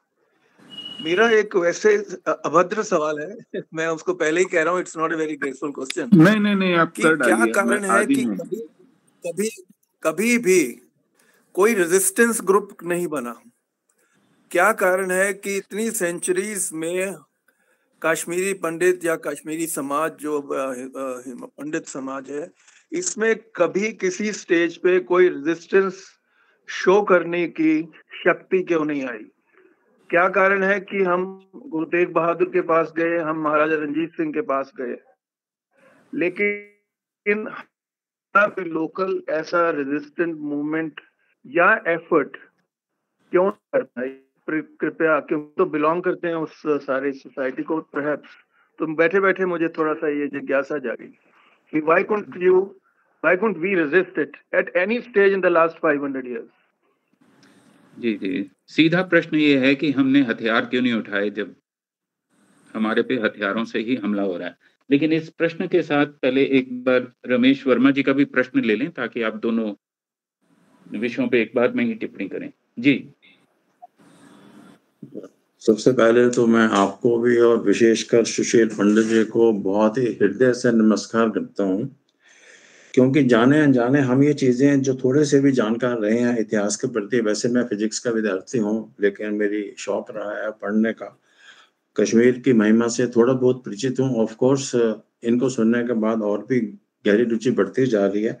जैसे बचपन में जब मैं स्टूडेंट लाइफ में था, ये राज तरंगनी मेरे लिए बहुत अद्भुत ये ग्रंथ था, जो वो बात अलग है कि मुझे आज याद नहीं। और इनकी जो पीड़ा है, मैं इतना ज़रूर कहना चाहूँगा, यदि हम ध्यान से देखें एक्सोडस के बाद अपनी जगह बहुत महत्वपूर्ण है, पर जो ये इतिहास इन्होंने हमें दिया है, वो हम तकरीबन 1100 के बाद शायद ही कोई भारत का प्रांत ऐसा रहा हो जिसने इन चीज़ों को ना भुगता हो। ठीक है टाइम टू टाइम हम कभी रजिस्ट करते रहे हैं, कभी पिटते भी रहे हैं, और वो भी दुर्भाग्यपूर्ण, जैसे कुछ मित्रों ने बताया कि कितनी चालाकी से और लगता है विद्वेशपूर्ण ढंग से हमें एक गलत इतिहास में ढाला गया और जो एक हमारे अंदर क्रोध को भी जागृत करता है कि तथा कथित स्वतंत्रता उन्नीस के बाद जब एक आशा थी कि हमें अपनी संस्कृति, अपने इतिहास का ज्ञान प्राप्त होगा, उसकी लाइट में हम कुछ नया कर पाएँगे। मैं बदला लेने की भावना से बात नहीं करना चाह रहा हूँ बट कम से कम हमें अपनी संस्कृति पर गर्व होना चाहिए। जैसा कि सुशील जी ने बोला है कि जो हमारा मुख्य जो ये संस्कृति का कंट्रीब्यूशन है वो हमें ज़्यादातर संस्कृत में दिखता है दूसरी भाषाएँ भी हैं प्राकृत है पाली है लेकिन उसका फिफ्टी परसेंट से कंट्रीब्यूशन ये हमारे लिए गर्व का विषय है कि हमें वो कश्मीर से प्राप्त हुआ है। एज ए हॉबी थोड़ा बहुत मैं कश्मीरी सैबिज्म में भी थोड़ा पढ़ता रहा हूँ और वो मेरे लिए किसी भी दर्शन के बल्कि अनुभव की पराकाष्ठा है पीक है। मैं उनको वैदिक वैदिक दर्शनों से भी ऊपर मेरी पर्सनल राय है कि मैं कि मैं मानता हूँ। उन सब चीज़ों के लिए बिल्कुल ठीक है। और यहाँ तक भी ठीक है कि आज भी मैं अनुभव करता हूँ, बिना किसी विदेश भावना के। मुसलमान जो कर रहे हैं, नहीं कर रहे हैं, वो अलग इशू है बट हमें शत्रु बोध की कमी, संकट बोध की कमी, और उसके बाद जो दायित्व बोध आना चाहिए, उसकी कमी लग ही रहा है कि है नहीं, और आज भी हम मस्ती में बैठे सुन रहे हैं, बात कर रहे हैं बट कुछ लग नहीं रहा है कि सामाजिक तल पे उठे। लेकिन कुछ परिवर्तन पॉजिटिव भी हुए हैं, जो हमें थोड़ा बहुत ध्यान में रखना है। अब जैसे जो ये इतिहास कहा रहा, कहा गया है, इन्होंने बापा रावल की बात की, ललिता दत्त जी की बात की, वो सब आदरणीय है और उन्होंने जो रजिस्टेंस दिखाया है वो बहुत ही प्रेरणादायक है। मेरे लिए खुद भी ये एक बहुत बड़ा अद्भुत यानी जो वो रहा है, ये ये हैरानी का विषय है कि हम मोहम्मद बिन कासिम के बाद सडनली देखते हैं कि हमें महमूद गजनवी से वास्ता पड़ रहा है तीन सौ साल, चार सौ साल का वो समय। जब दुनिया में वो स्पेन तक फैल गए हैं ईरान तक आ गए हैं हम हमें क्या उन्होंने मतलब साधु सेना से छोड़ के बख्श दिया? नहीं भाई। बापा रावल जैसे रोल और ललिता आदित्य जैसे लोग और नागर नाग भट्ट जैसे लोगों ने मिलकर के पीढ़ी दर पीढ़ी उन्हें उनके खोल में घुसा के रखा था। वो इतिहास बहुत थोड़े थोड़े लोगों ने जैसे उमेंद्र रत्नो है उन्होंने महाराणा पुस्तक लिखी है। उसमें कम से कम बाहर आना शुरू हो गया। और हमें भी दुख होता था जब हम बचपन में इतिहास पढ़ते थे कि इस पीरियड के बाद क्यों नहीं क्यों नहीं पढ़ाई जा रही है। एक एक अंदर एंगर था बट हम लोग क्या है? हम लोग स्टूडेंट है। बाद में हम लोग दूसरे सब्जेक्ट में चले गए बट एज ए हॉबी अपने अपने घरों में बैठ के कुछ ना कुछ चीज़ें डिस्कस भी करते रहे। अभी एक, कुछ दिन पहले मेरे हाथ पुस्तक मैंने खरीदी है, असत्य में जयते। उसमें उन्होंने ये सारे इशू इवन सूफीज का भी जो, सुशील पंडित जी ने बड़े बहुत अच्छे ढंग से दिखाया कि एक जो मिथ हमारे अंदर बना दी गई सूफी में, शायद कुछ सूफी रहे होंगे ओरिजिनली गजाली जैसे थे, जिनका मैं ज़िक्र नहीं करना चाह रहा हूँ बट मोस्टली वो इस्लाम के प्रचारक बन के कन्वर्शन भी करते रहे और कितनी उन्होंने कई बार दुष्टतापूर्ण हरकतें भी की हैं, वो सब चीज़ें धीरे धीरे प्रकाश में आ रही हैं और असत्य में, जाते में इसको भी उन्होंने लिया है सूफी यूट्यूब और उसके बाद उन्होंने जो ये षडंत्र कार्य हमारे साथ हुआ है, वो भी उन्नीस सौ सैंतालीस के बाद इतिहास में जब वो कहते हैं कि हमें पढ़ाया ही जाता रहा पराभव पराभव पराभव जैसे कि हम जन्म जात डरपोक लोग ही रहे हैं और हम मरने कटने के लिए पैदा होते रहे। इसको छुआ है। फिर उन्होंने एक चीज़ और भी छुई है जहाँ वो बताते हैं कि जो भाया नहीं वो हुआ नहीं। जो आपकी प्रेरणादायक ग्रंथ थे रामायण थे महाभारत थे उनको आपको मिथ कह के टाल दिया गया। और जैसे इन्होंने बहुत शानदार ढंग से कहा है कि जो एट्रिसिटीज हुई उनको कैसे पर्दे में डाल दिया गया ये सब बातों में हंड्रेड परसेंट सहमत हूँ उनका धन्यवाद भी हूँ। लेकिन एक थोड़ा सा मुझे संकेत हो रही है चीज़ यहाँ पेड़ा कि एक बहुत अच्छी चीज़ जो हम सब महसूस करते थे 370 हटी है। एक बचपन से ही हम इस 370 को भारत के मस्तिष्क का कैंसर महसूस करते रहे और यदि मुझे ये बात कहने की इजाज़त दो इनके लिए जो जिम्मेवार राजनीतिक नकली राजनीतिक या उग्रवादी जो भी थे उनके लिए हृदय में एक गहरी नफरत लिए बैठे हैं। कम से कम हमें ये एक्नॉलेज तो करना ही होगा कि कुछ हम्म। समय पहले इसी राजनीति में कुछ लोग ऐसे आए जो प्रारंभ से 1950 से अब श्यामा प्रसाद मुखर्जी हैं उन्होंने अपना बलिदान दिया इसी बात के लिए दिया कि एक देश में दो शासन नहीं हो सकते दो संविधान नहीं सकते वो मरे या मारे गए वो सब हमारे को पता है कि क्या कहानी है या नहीं उसकी ज़रूरत ये डॉक्टर साहब ये विषय अभी दूसरे उसमें पक्ष में लेंगे लेकिन कम से कम हमें एक लाइन ज़रूर चाहिए कि इसको इसका प्रभाव ठीक है धीरे धीरे हो रहा है वो मैं मैं महसूस करता हूँ कि हम्म। कभी यहाँ राजनीति का विषय है लेकिन 370 को एक्नॉलेज करना बनता है कि कैसे वो हटी है।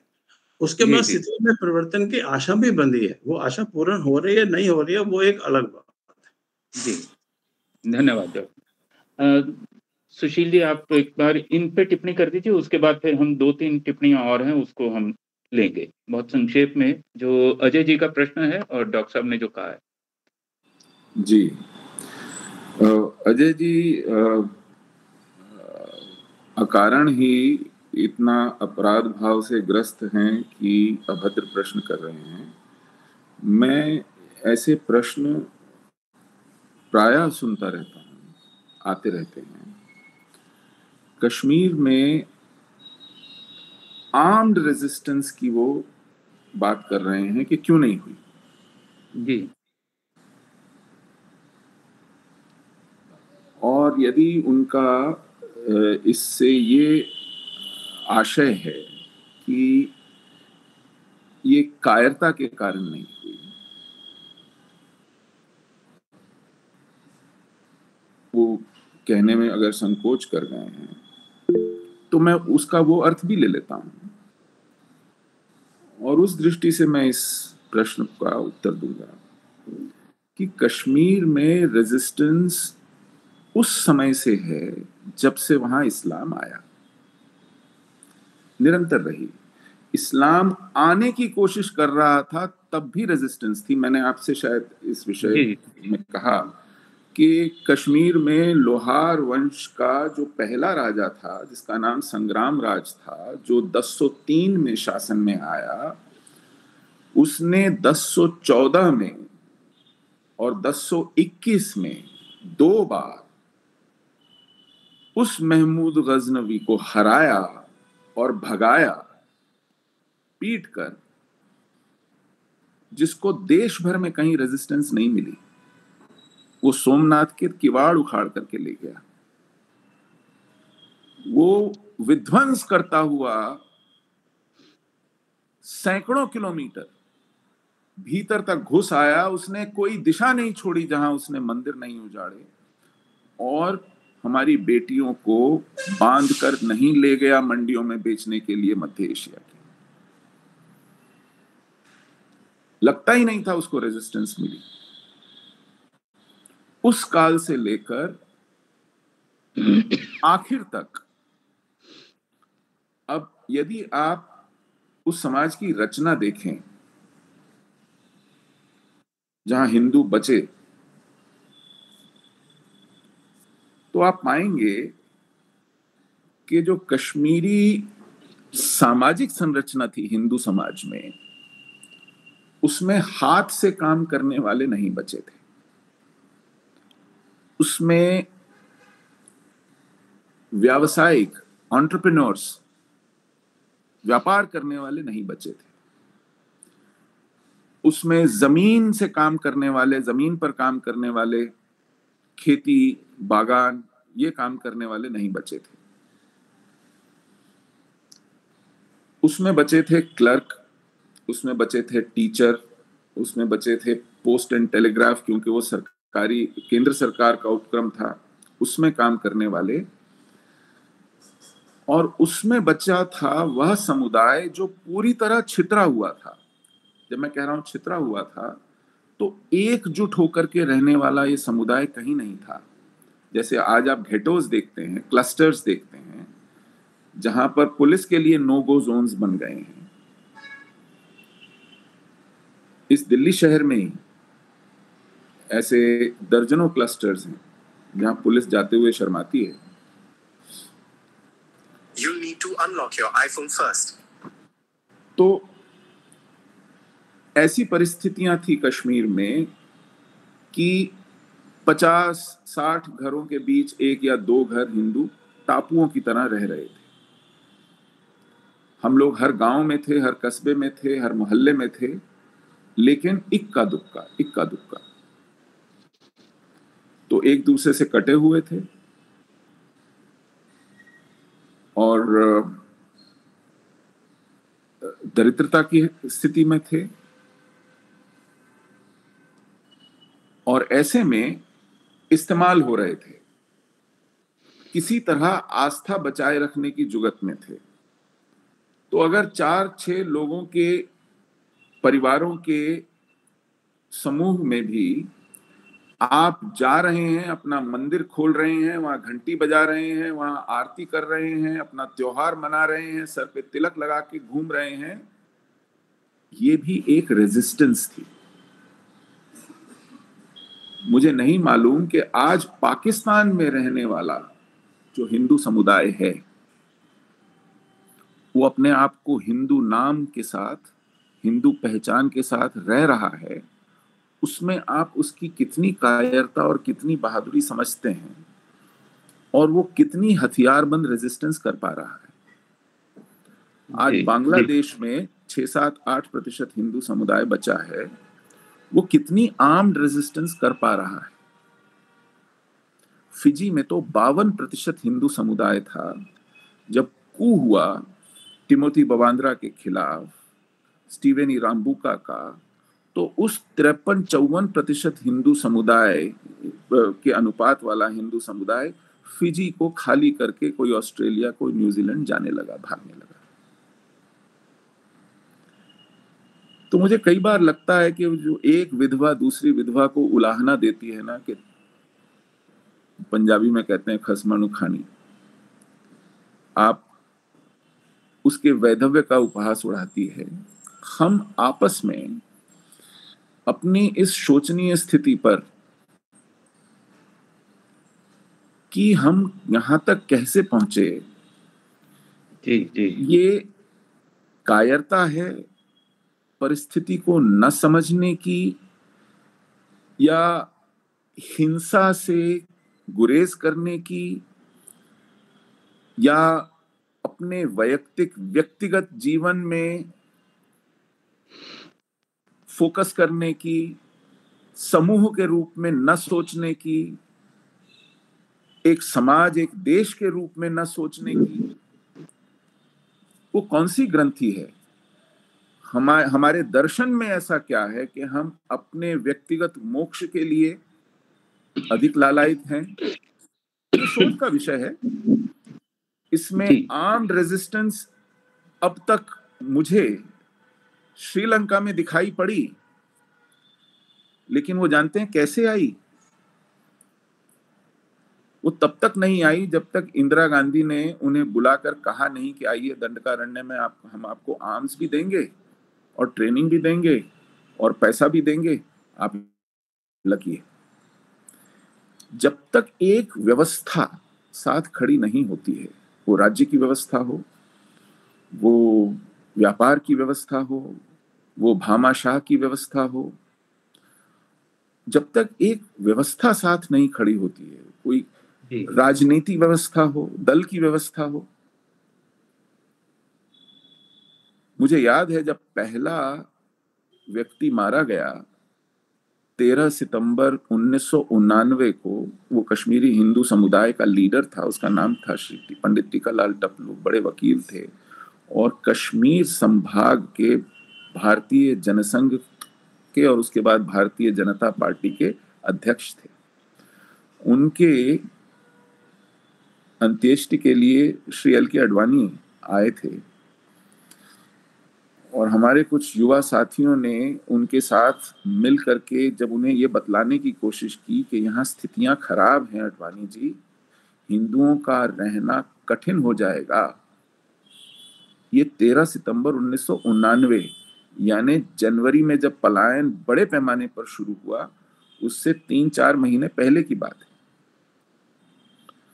तो अडवाणी जी ने कहा, बैठिए बैठिए बैठिए बैठिए, सुन लिया, बैठिए। आप लोगों को नहीं पता कि ये कांग्रेस और नेशनल कॉन्फ्रेंस की जो गठबंधन की राजनीति चल रही है कश्मीर में, ये उसकी खींचतान का नतीजा है।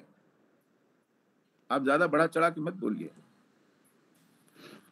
और जब 1990 के उत्तरार्ध में भाऊराव जी जम्मू आए, कैंपों में आए, शरणार्थियों के बीच बैठे और तत्कालीन प्रांत प्रचारक जी से पूछा कि ये हो गया और हमें इसका पता क्यों नहीं चला कि ये होने वाला है?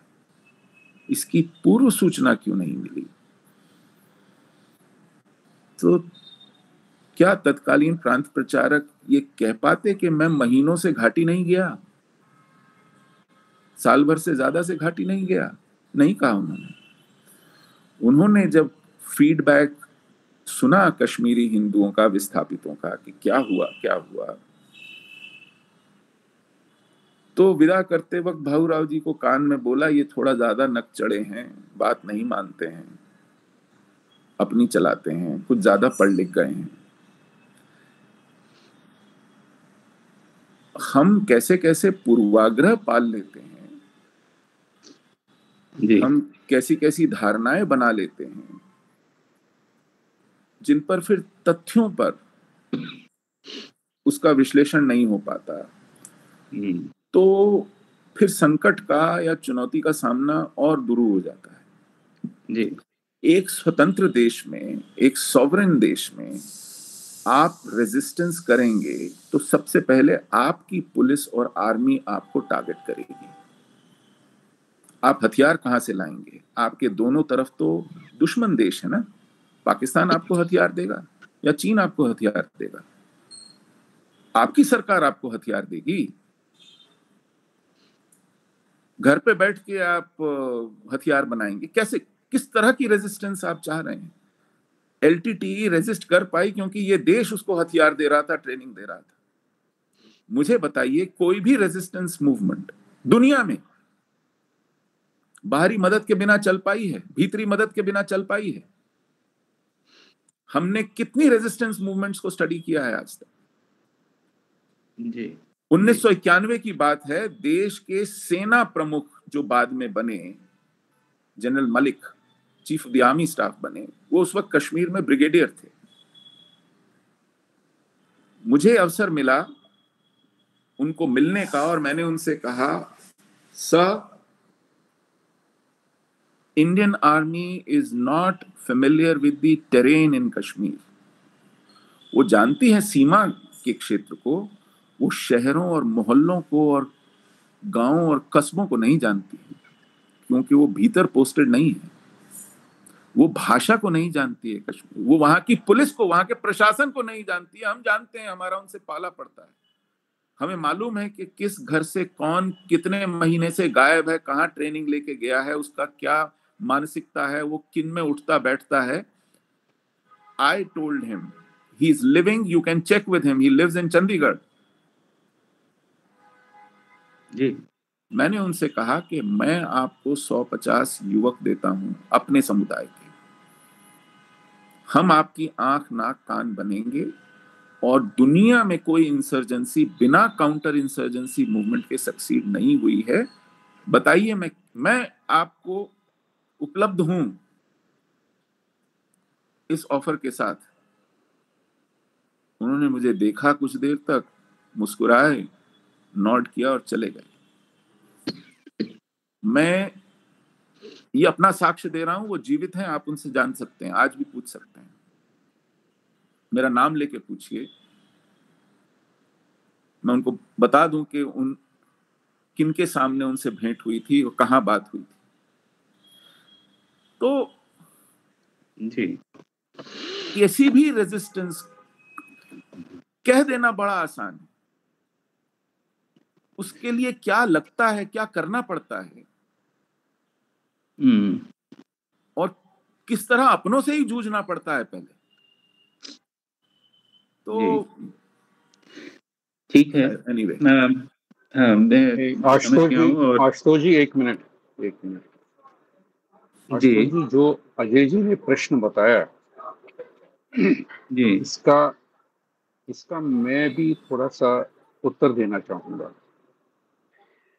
हमारे यहाँ पे कश्मीर में जब आज़ादी हुई उसके बाद हम्म। एक मुझे अपने बचपन का किस्सा याद है जो अजय जी को मैं सुनाना चाहूँगा जो आप कह रहे हैं ना कि वहाँ लोकल क्यों नहीं ऐसा कोई ग्रुप शुरू हो हम्म। गया जिसने काउंटर हम्म। इंसर्जेंसी का कर हम्म। एक हिंदू लड़की थी परमेश्वरी। उसका जबरन एक मुसलमान लड़के के साथ शादी करवाई गई। हम्म। मेरे ख्याल में मैं उस वक्त पंद्रह सोलह साल का लड़का था मैं। मेरी आयु आज पैंसठ साल की है तो करीबन पचास साल मान लीजिए हम्म। अभी सुशील जी ने इनका टिकालाल जी का नाम आपको साझा कर दिया। हम्म। वो टिकालाल जी हमारे हिंदू कम्युनिटी के उस वक्त की लीडर थे। हम्म। मैं अजय जी को तो आज कोई अपना प्रमाण दे नहीं सकता हूँ क्योंकि हमारे घर तो जले हुए हैं। लेकिन वो हिस्ट्री में पुलिस रिकॉर्ड में देख सकते हैं। जी। जिस तरह से उस हिंदू लड़की को मुसलमान के साथ जबरन शादी करने के बाद वापस लाने के प्रयास किए गए थे। हम्म। मेरे ख्याल में आपको भारतवर्ष में पूरे भारतवर्ष में वैसा संग्राम नहीं मिलेगा। न हमारे पास बंदूक थे न हमारे हम्म। पास लाठी थी। नहीं मैं आपको। पूरी तरह बताना चाहता हमारे पास लड़ने के लिए लाठी भी नहीं थी। बंदूक की बात तो हम्म। छोड़ दीजिए तलवार की बात तो छोड़ दीजिए। हम्म। लगता है अजय जी ने सोचा है कि जिस तरह से खालिस्तान मूवमेंट शुरू हो गई है जिस तरह से जेकेएलएफ शुरू हो गई है इस तरह से हम्म। एक हिंदू को भी कश्मीर में कोई बंदूक बनाने का। मैं सुशील जी से एक निवेदन करना चाहता हूँ कि भैया हम घर में तलवार बना सकते थे हम चाकू बना सकते थे हम छह आठ लोगों को मार सकते थे। हम्म। लेकिन हमें पता था उस टाइम में आज से 50 साल पहले की बात बता रहा हूँ अभी 1990 तो छोड़ दीजिए आप। हम्म हमें उस टाइम पता था कि अगर हमने एक मुसलमान लड़का या लड़की को छेड़ा और मारा हम्म। हम भैया सारे सड़क पे खून बहते हुए दिखेंगे। जी जी। क्योंकि हमारे पास लड़ने के लिए छह लोग होते। और हम्म। अगले किनारे पे तो छह हज़ार होते बिल्कुल। क्योंकि आप पॉपुलेशन रेशो में देख लीजिए हमारे पास पॉपुलेशन रेशो फाइव परसेंट हम्म हम्म। लेकिन फिर भी परमेश्वरी के केस में अजय जी जाकर के देख सकते हैं पुलिस रिकॉर्ड में कि रेजिस्टेंस के टाइम पे कितने हिंदू थे जो जख्मी हो गए थे। किससे? अपनी पुलिस जो मेरी अपनी जेएंड के पुलिस थी वो मुझे मार रही थी। हम्म हम्म।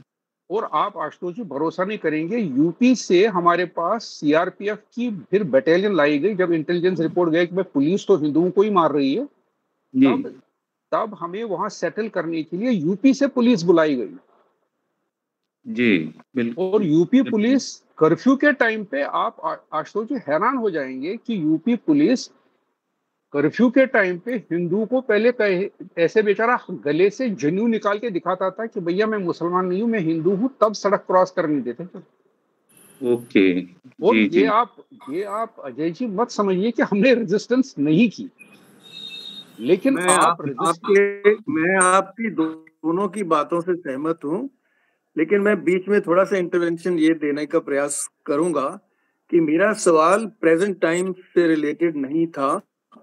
मेरा सवाल था, जैसा आपने बताया सुशील जी ने, कि from 1339 this community has been facing a problem और उसके बाद उन्होंने 1339 से लेके 1990 तक का विवरण दिया है। तो मेरा सवाल ये नहीं है कि अभी क्या हो रहा है, अभी नहीं हुआ, ये नहीं। मेरा सवाल ये है कि 1339 से जब पहली बार हुआ, और उससे लेके 1990 तक ये 600 साल का जो समय है इसमें कभी कोई छोटी मूवमेंट अब तो ठीक है कि हम कह सकते हैं कि पंडितों की पॉपुलेशन है जो फोर परसेंट है या लेस देन फोर परसेंट है या जो भी आपने अभी विवरण दिया है एग्री विद यू लेकिन मेरा सवाल व्यापक था मेरा सवाल पर्टिकुलर टाइम के लिए नहीं था। धन्यवाद। देखिए मैंने उस विषय में आपके प्रश्न से पहले यदि आप मुझे अनुमति दें जैसा कि आपको पता है, यदि व्यवस्था और शासन पर शत्रु का कब्जा है तो आप बाहर से मदद लेते हैं। तो महाराजा रंजीत सिंह के पास जाकर मदद लेकर सैनिक कार्रवाई की, वो रेजिस्टेंस का हिस्सा था। आप गुरु तेग बहादुर के पास गए और रेजिस्टेंस के लिए मांगा।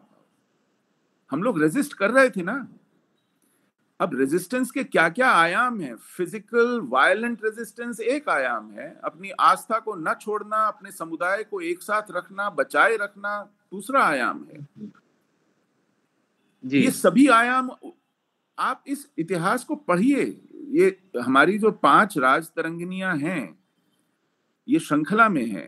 कलहन की जोनराज की श्रीवर की प्राग्ञ भट्ट की और शुक की।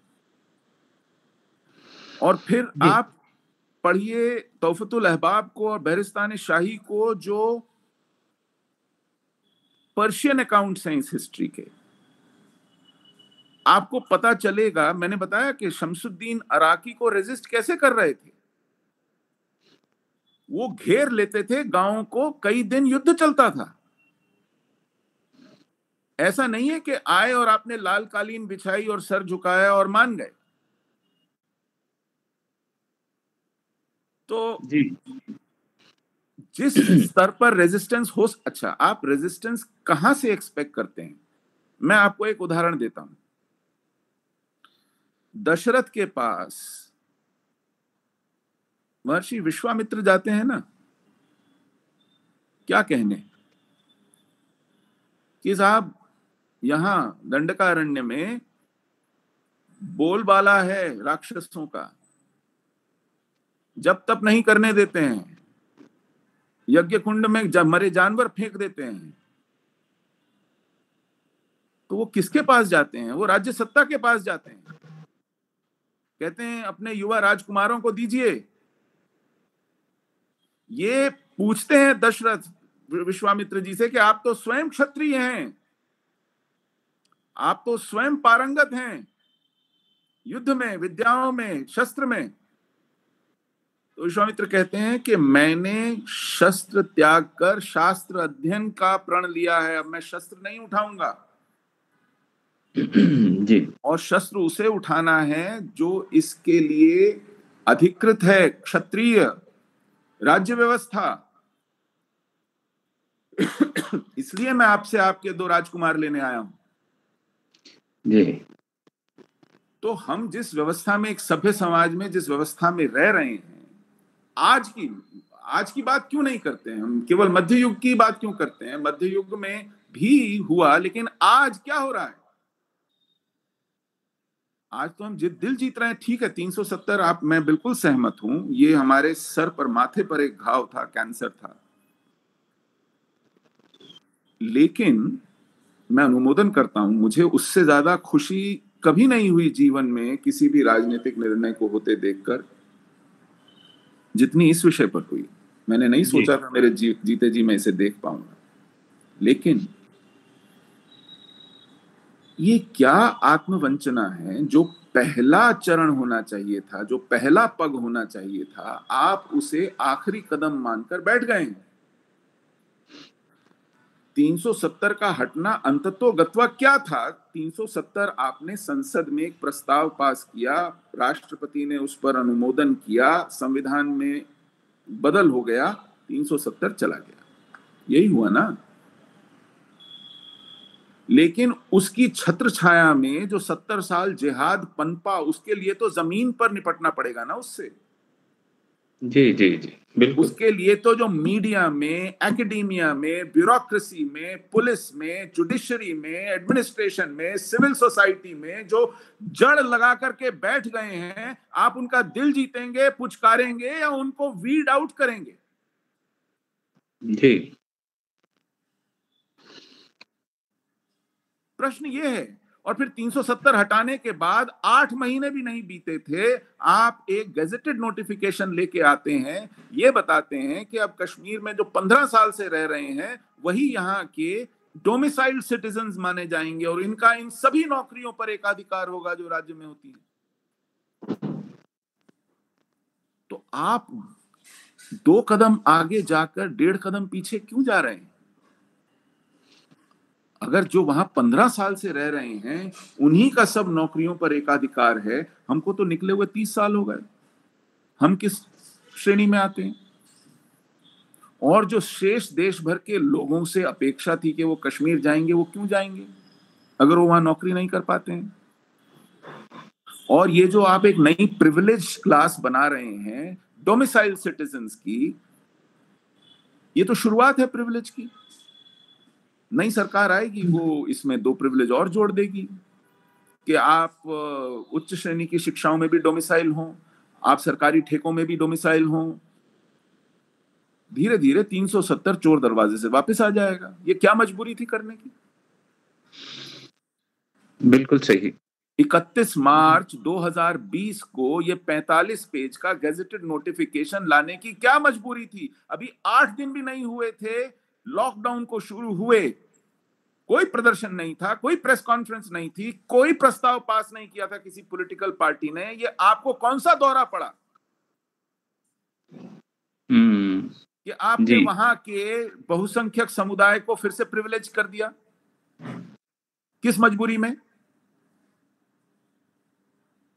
मैं नहीं चाहता विषयांतर हो लेकिन जिस जिस कुत्सित राजनीति के चलते कश्मीर की ये दुर्दशा हुई है। उसमें अपनों और परायों की पहचान धीरे धीरे धूमिल होती जा रही है। हम्म, जी। चलिए इस विषय को अभी यहीं पे हम रोकते हैं लेकिन दो तीन टिप्पणियाँ और लेने वाली हैं हमारे सामने। पहले डॉक्टर मोहन मट्टू जी और उसके बाद डॉक्टर अश्विनी मलिक जी। संक्षेप में अपनी बात रखेंगे क्योंकि मुझे लगता है दो तीन प्रश्न और भी हैं दो तीन टिप्पणियाँ और भी हैं। जी सर प्लीज़। नमस्कार सुशील जी। नमस्कार मैं आपने जो बताया उसका एक उदाहरण हूँ। जैसे कि मेरे पिताजी 1947-48 में कश्मीर छोड़ के बम्बई आए। मैं यहाँ बम्बई में पैदा हुआ हूँ।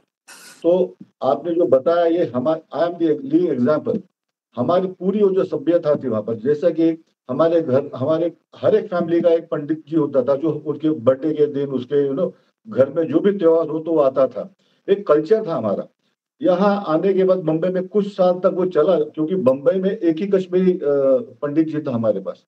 वो भी हमारे घर में आके हमारे बर्थडे के दिन या छोटे मोटे त्योहारों पर पूजा पाठ करते थे। वो, उसके जाने के बाद अभी हम यहाँ लोकल पंडितों के ऊपर डिपेंडेंट है। लेकिन हमारा जो कल्चर था वो जैसे उन्होंने बताया आई एम दी एग्ज़ाम्पल भाई यहाँ पर हम कुछ भी नहीं what we are Kashmir for what हम कश्मीरी भी ठीक तरह बोल नहीं पाते। हमारे बच्चे तो अभी समझ पा रहे हैं बोल नहीं पा रहे। और जैसे उन्होंने बताया थर्ड जनरेशन तो ना बोल पाएगा ना समझ पाएगा। सो दिट्स अ बना so I thought I should share this because I am the victim of this but my father uh, migrated. अच्छा मेरा एक ही सवाल भी सुशील जैसे what we have seen all this what we have presented brilliantly अभी आप मुझे ये बताइए, आगे आपके हिसाब से क्या होना चाहिए? What is the way out? It's not very easy question, i know, but what do you think few things we need to चलिए डॉक्टर साहब के प्रश्न के साथ एक बार इनका प्रश्न भी ले लेते हैं डॉक्टर अश्विनी जी का। जी, अश्विनी मलिक जी। जी सर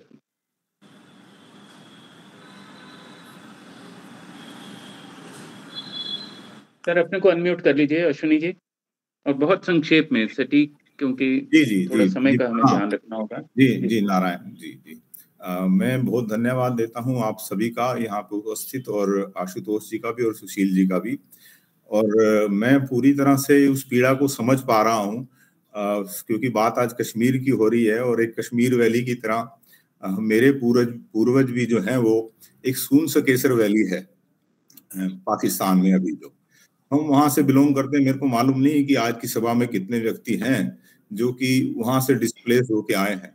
और मैंने अपने पूर्वजों से ये सभी गाथाएँ सुनी हैं, जो पंडित जी ने बोली हैं, और मेरे को पूरी ही वो पीड़ा का अनुभव है, और मैं उस पीड़ा को संजोए हुए हूँ, क्योंकि मैं भी कब उस कटास राज की धरती के पास जाऊँगा, और वहाँ पर अपने पूर्वजों की जो धरती है, जहाँ की आज एफ़ सिक्सटीन उनका न्यूक्लियर प्लांट बना हुआ है उस धरती पे, और वहाँ पे जाके दोबारा पूजा कर पाऊँगा। तो बस मैं इतना ही कहना चाहूँगा और इसमें थोड़ा सा आश्वासन भी देना चाहूँगा। मुझे पूरा विश्वास है अपनी शंकराचार्य परंपरा पे जो हमारे पीठाधीश्वर शंकराचार्य जी हैं मैं उन संगठन का मेरे पास दायित्व है राष्ट्रीय। और उन्होंने इसको आध्यात्मिक धरातल पर इसका परिवर्तन किया है। और वो देख पा रहे हैं कि ये आध्यात्मिक धरातल पर परिवर्तन हो गया है और एक ये भौगोलिक धरातल पर होने जा रहा है लेकिन भविष्य में बहुत ही जल्दी जबकि एक उन्होंने आह्वान कर दिया है कि सबके पूर्वज हिंदू समझेगी नहीं? बात को स्वीकारने लग जाएगा समाज कि सबके पूर्वज हिंदू चाहे वो समाज मुस्लिम समाज है चाहे वो ईसाई समाज है। तो बस मैं इतना ही कहना चाहूँगा कि आगे वाला समय जो है वो थोड़ा पीड़ा का निकलेगा और उसके बाद हम आश्वस्त दिशा में बढ़ रहे हैं। जी जय जय। धन्यवाद। सुशील जी बड़े संक्षिप्त से इस विषय पे जो प्रश्न उन्होंने किया है उस पर आप टिप्पणी और उसके बाद कोई और अपनी बात रखना चाहे तो नहीं तो फिर हम इस आज की चर्चा को पूर्णता की ओर अग्रसर करेंगे विश्राम देंगे और डॉक्टर शिवानी से मैं निवेदन करूँगा कि वो धन्यवाद करेंगी। जी सुशील जी। जी वो प्रश्न उनका बहुत सीधा सा था कि क्या होना चाहिए। लेकिन उत्तर कोई सीधा नहीं है इसका। मैं मेरे दिमाग में सिर्फ़ तीन बातें आती हैं। जी। मैं तो व्यवस्था से अपेक्षा कर सकता हूँ कि सरकार अगर ये तीन काम करे जी। तो हम कम से कम समाधान की ओर बढ़ते हुए दिखाई पड़ेंगे। जी। और अपने भीतर जो एक अंतर्द्वंद है वो थोड़ा छटेगा। आज भी हमें माइग्रेंट कहा जाता है। माइग्रेंट होते हैं वो लोग जो स्वेच्छा से प्रवास करते हैं।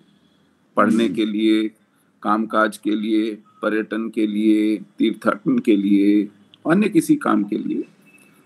हम लोग स्वेच्छा से निकले हुए लोग नहीं हैं लेकिन सरकार इस पाखंड में लगी है कि हमको माइग्रेंट कहती है। सरकारी रिकॉर्ड्स में भी माइग्रेंट कहा जाता है। जी जी। उसकी कारण ये है कि आज तक सरकार ने एक्नॉलेज नहीं किया है कि वहाँ हुआ क्या था। तो सबसे पहला काम सरकार ये आधिकारिक तौर पर माने इसकी पुष्टि करे कि वहाँ एक जातीय विध्वंस एक जेनोसाइड हुआ है। घाटी को हिंदुओं से खाली कराया गया है बहुत ही हिंसक तरीके से। ठीक है? ये एक जेनोसाइड है। ये सरकार माने। एक वाइट पेपर लाए इसको एक्नॉलेज करे ये पहला काम है। दूसरा काम क्योंकि अगर वो मानते हैं तो फिर उन पर ये उत्तरदायित्व आएगा कि वो इस पर, इस, इसका संज्ञान लेते हुए इस पर कार्रवाई करें। जिन्होंने ये किया है, वो आज भी ज़िंदा हैं, फल फूल रहे हैं। उन पर मुकदमा चलाए, उनका दोष सिद्ध करे, उनको सजा दे। जो न्याय के लिए तरस रहे हैं अभी भी, जो पीड़ित हैं, जो बच गए हैं उन परिवारों के, उनको न्याय दे। ये दूसरा काम है, बहुत बड़ा काम है। न्याय के अभाव में और उससे पहले पुष्टि के अभाव में ऐसा लगता है मानो कुछ हुआ ही ना हो। और तीसरा इस पर एक नीति बने एक निर्णय हो कि हमें कश्मीर में इस निकाले गए समुदाय का पुनर्वासन करना है इस जेनोसाइड का रिवर्सल करना है। जैसे हम चाहे वो आप कहते हैं ना कि जबानी जमा खर्च किया संसद ने उन्नीस सौ तिरानवे में, कहा, जी पीओके हमारा है। कम से कम एक प्रस्ताव पास किया और उसको दर्ज कर दिया, उससे कमिटमेंट बन गई कि हमें उसे लेना है। आप कम से कम ये कहें और उस दिशा में क्या करेंगे, उसका एक कार्यक्रम, उसकी एक नीति बनाएँ। उस पर अपनी प्रतिबद्धता दिखाएँ, निष्ठा दिखाएँ कि ये करना है। ये देश की देखिए मुझसे पूछते हैं लोग कि कब जाओगे भाई वापस? हम्म। कब जाओगे? जा पाओगे कि नहीं जा पाओगे? मुझे उसके जवाब में केवल यही दिमाग में आता है कि देखिए हम किसी से पूछ कर तो आए नहीं थे जब वहाँ से निकले थे। किसी से ना परमिशन ली थी ना किसी से मशवरा किया था जान पे बन आई थी तो भाग कर निकल आई अपना घर है, अपनी ज़मीन है, जिस दिन जाने लायक हो जाएँगे, आपसे नहीं पूछेंगे, आपको नहीं बताएँगे, वहाँ चले जाएँगे। लेकिन क्या इस देश को ये तय करना है कि ऐसी भूमि पर वो कब तक अपना, अपनी सार्वभौमिकता सिद्ध करती रहेगी? आग्रह करती रहेगी जिस भूमि पर बिना शर्तों के इस देश के प्रति निष्ठावान समाज न रहता हो। जी। आपको ऐसे जन की आवश्यकता है क्या कश्मीर में जो इस देश से बिना शर्तों के भक्ति रखता हो निष्ठा रखता हो? तो आप क्या कर रहे हैं ऐसे समुदाय को वहाँ ले जाने के लिए? यदि आपको हमारी ज़रूरत नहीं है आपको ऐसे लोगों की ज़रूरत नहीं है कश्मीर में जो बिना किसी मांग के, बिना किसी लालच के, बिना किसी परियोजना के आपसे स्वार्थ सिद्ध किए बिना वहाँ रहकर, जैसे रह रहे थे 1990 से पहले, रहें। अगर आपको ऐसे समाज की आवश्यकता नहीं है, इस देश को, इस देश की व्यवस्था को तो फिर इन लोगों, ये लोग पागल हैं क्या? आत्महत्या करने जाएँगे। जब ये देश ही नहीं चाहता कि वो वहाँ रहें और जब वहाँ से निकाले गए थे उसके बाद भी इस देश ने कुछ नहीं किया इस देश के पूरे तंत्र ने इस देश की पूरी व्यवस्था ने कुछ नहीं किया आज तक कुछ नहीं किया इसका अनुमोदन पुष्टि तक नहीं की कि वहाँ क्या हुआ है। तो क्या सोच के कोई जाएगा? जी। क्या करने जाएगा? बिल्कुल। बिल्कुल। तो इसके बाद जल्दी से एक टिप्पणी और ले लेते हैं डॉक्टर गणेश जी और उसके बाद नवीन जैन जी हैं। बहुत धन्यवाद। संक्षेप में और सटीक बात रखिए। जी आ, जी सर। मेरा ये मन करता है कि कोई भी हम इतनी लंबी चौड़ी चर्चा जब करते हैं तो उसमें टेक अवे पॉइंट्स हमेशा लेने चाहिए। जी बिल्कुल। और जब हम बार बार ये पूछते हैं कि क्या होना चाहिए तो उसको जो अभी सुशील जी ने बोला उसको हमें डेफिनेटली शॉर्ट में समराइज करके एक रिकॉर्ड करके हम सब में बांटना चाहिए और उसका करना क्या है सोशल हम्म। मीडिया का इतना ज़बरदस्त इफ़ेक्ट है हम्म। आज हमें कई सारी बातें नहीं पता होती व्हाट्सएप के माध्यम से पता लगती हैं तो हम पचास जगह फैलाते हैं या अपने फेसबुक पेज पे या एक्स पे लिखते हैं exactly. तो जब ये समराइज फॉर्म में मिलेगा तो कम से कम हम तीस बत्तीस पैंतीस लोग जो बैठे हैं कम से कम ये एक सोचें कि ये टेक अवे ये है कि जो कहा जा रहा है उससे हम एग्री करते हैं तो इमीडिएटली हमें अपने सोशल मीडिया के माध्यम से इसको फैलाने का प्रयास करना चाहिए और देर सवेर बात पहुँचती है ऐसा मेरा विश्वास है। धन्यवाद। जी धन्यवाद। मैं बिल्कुल सहमत हूँ और प्रयास रहेगा कि इसकी वीडियो रिकॉर्डिंग और इसकी समरी जो है मैं शेयर करूँ आप लोगों के साथ। नवीन जी और उसके बाद मनी दत्ता जी। सुशील जी का बहुत बहुत धन्यवाद। मन एक बार फिर द्रवित हुआ। और उनके विचारों को सुनकर उससे पूर्णतः सहमत भी है। क्या व्यवस्था कर पाती है, क्या नहीं, ये सभी के सामने है। अभी रविंदर जी मुजफ्फरनगर से कह रहे थे, उनके वो इस बात को सपोर्ट करेंगे कि मुजफ्फर, उनके मुजफ्फरनगर के पास एक कैराना है।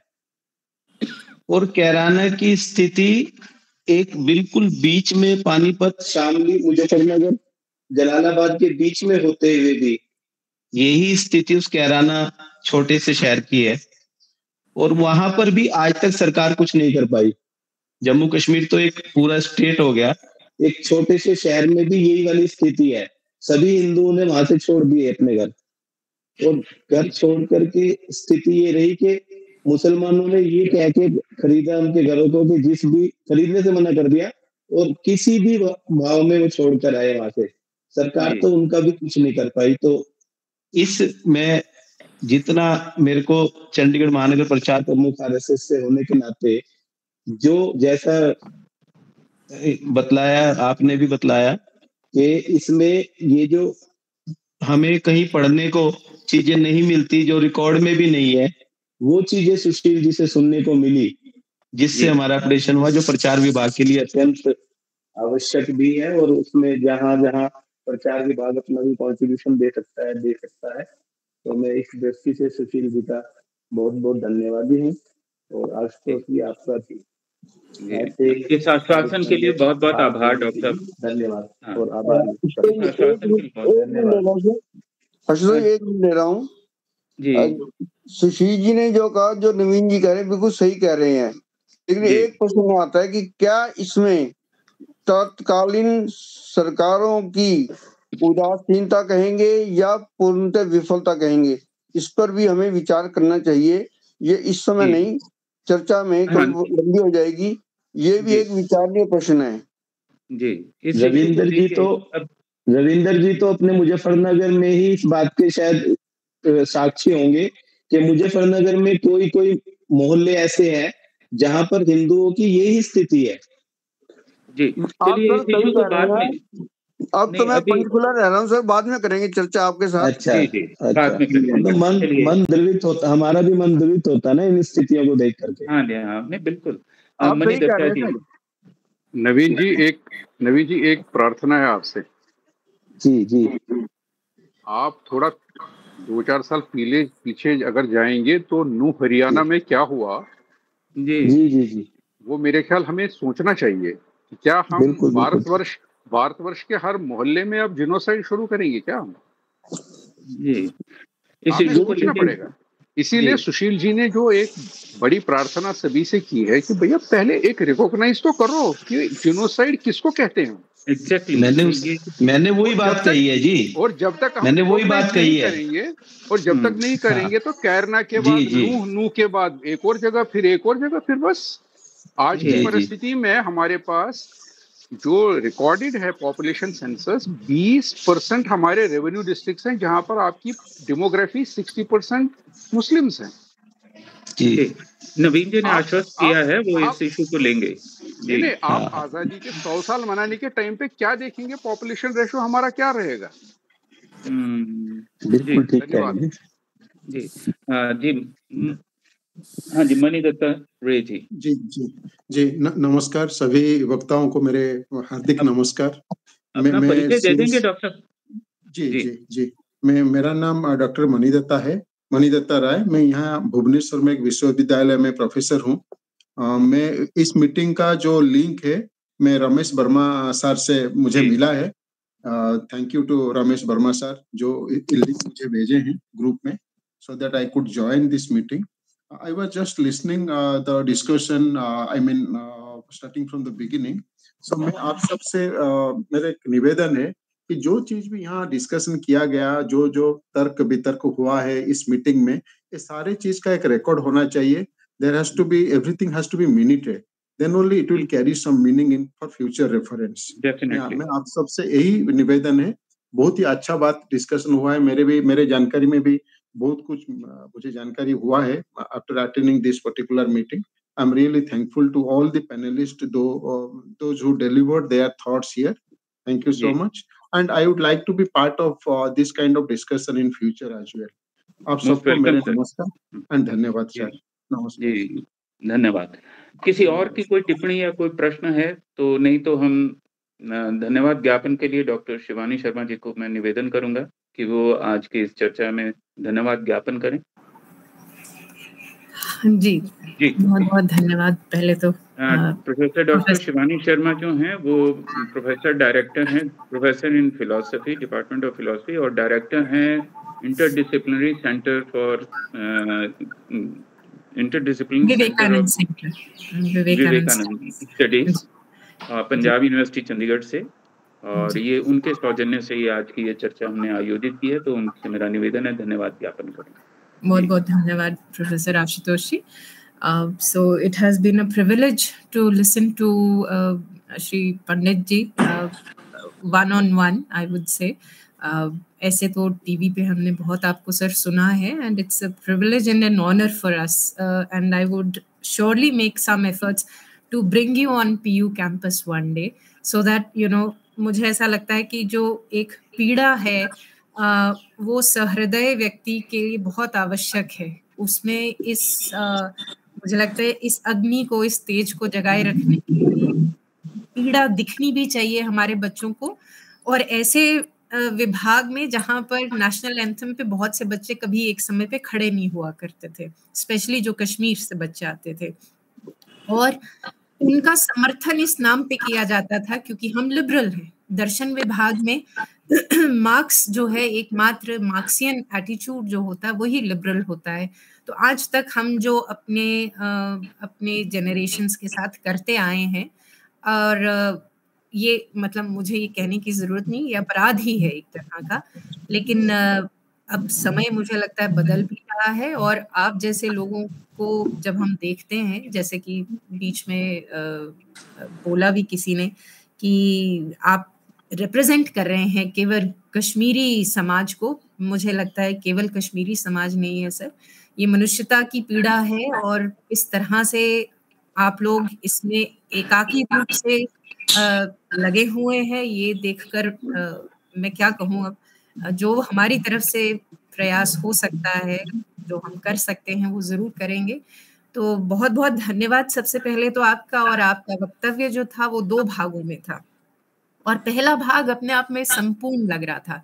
It was appealing as if you know it was complete in it लेकिन जैसे ही दूसरा प्रश्न, प्रश्नोत्तर का हमारा संचार शुरू हुआ तो मुझे लगा कि ये तो बहुत कुछ और अभी हमें आपसे सुनने को मिल रहा है। अभी तो और बहुत सी पीड़ाएँ बाकी हैं। जैसे लियो टॉल्स्टॉय ने कहा, the effective poetry is that which infects you more.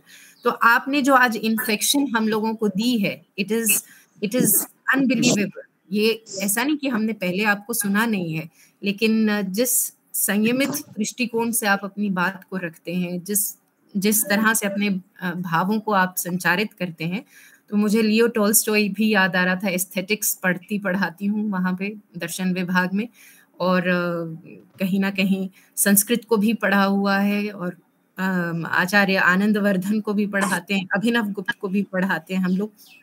तो मुझे लगता है कि इससे बढ़िया एकात्म करने का कोई हमारे लिए और मौका नहीं बन सकता था और कोई अवसर नहीं था।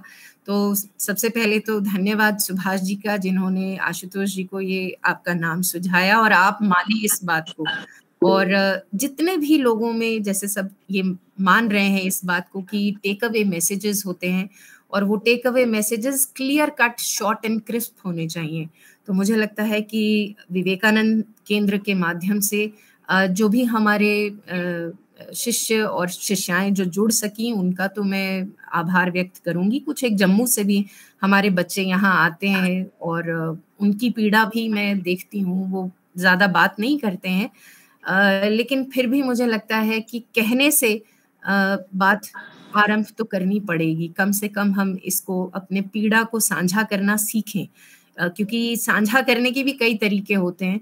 तो मैं अपने बच्चों से तो यही उनको कहूँगी कि उन्हें अभी सीखना है।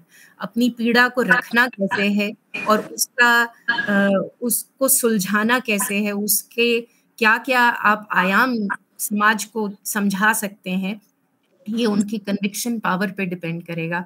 तो आज का ये मैं कहूँगी कि अपॉर्चुनिटी जो हमारे लिए थी आपसे सुनने से ज़्यादा सीखने की थी।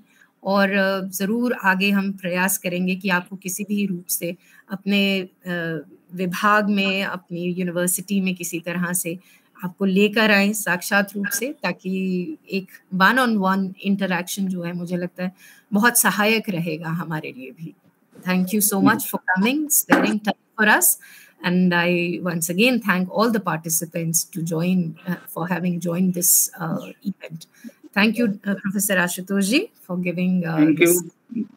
Uh, uh, धन्यवाद डॉक्टर शिवानी और आप सभी का बहुत बहुत आभार धन्यवाद। आज की इस चर्चा को हम यहीं विश्राम देते हैं।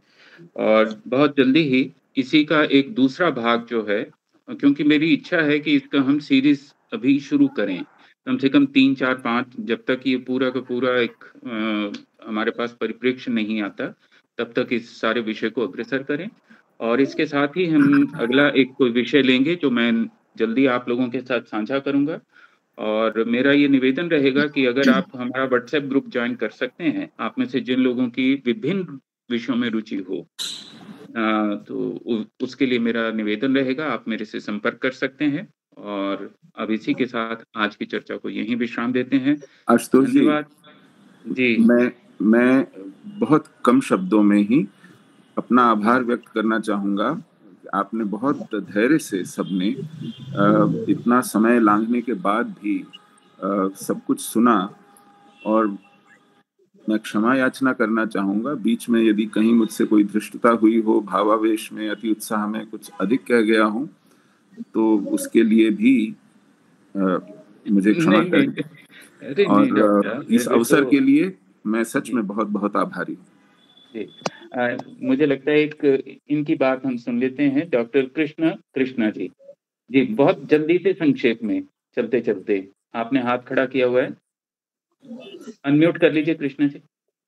जी जैसे सुशील जी ने बताया था I got to hear from one of the army man कि वो लोग उधर तैनात थे उस समय।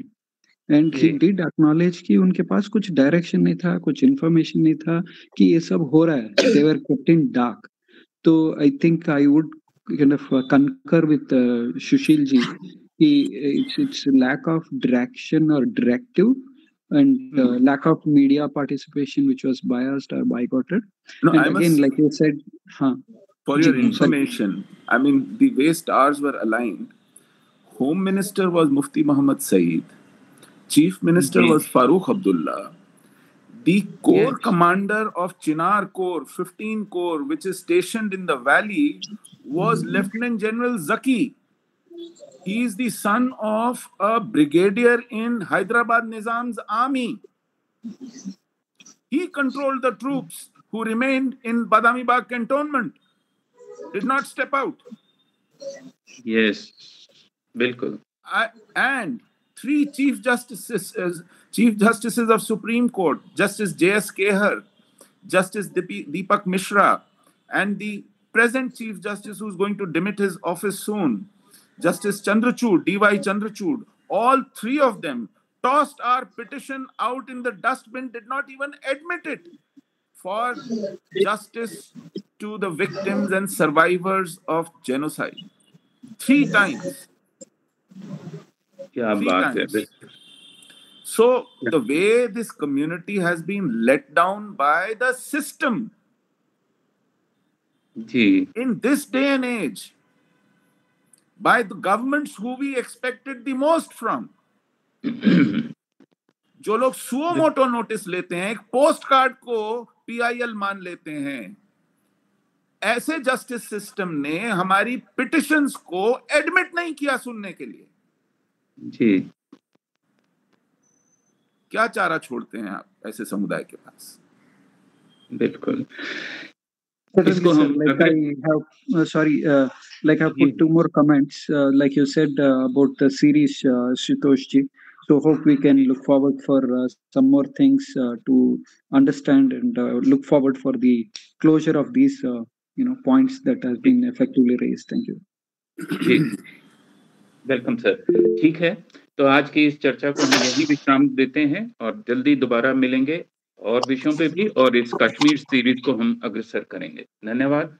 बहुत बहुत आभार। आप लोग मीटिंग को छोड़ सकते हैं। Thank you so much thank you everyone नमस्कार जी सभी को नमस्कार। नमस्कार। नवीन जी बहुत बहुत आभार आपका। नमस्ते जी। नमस्कार प्रणाम।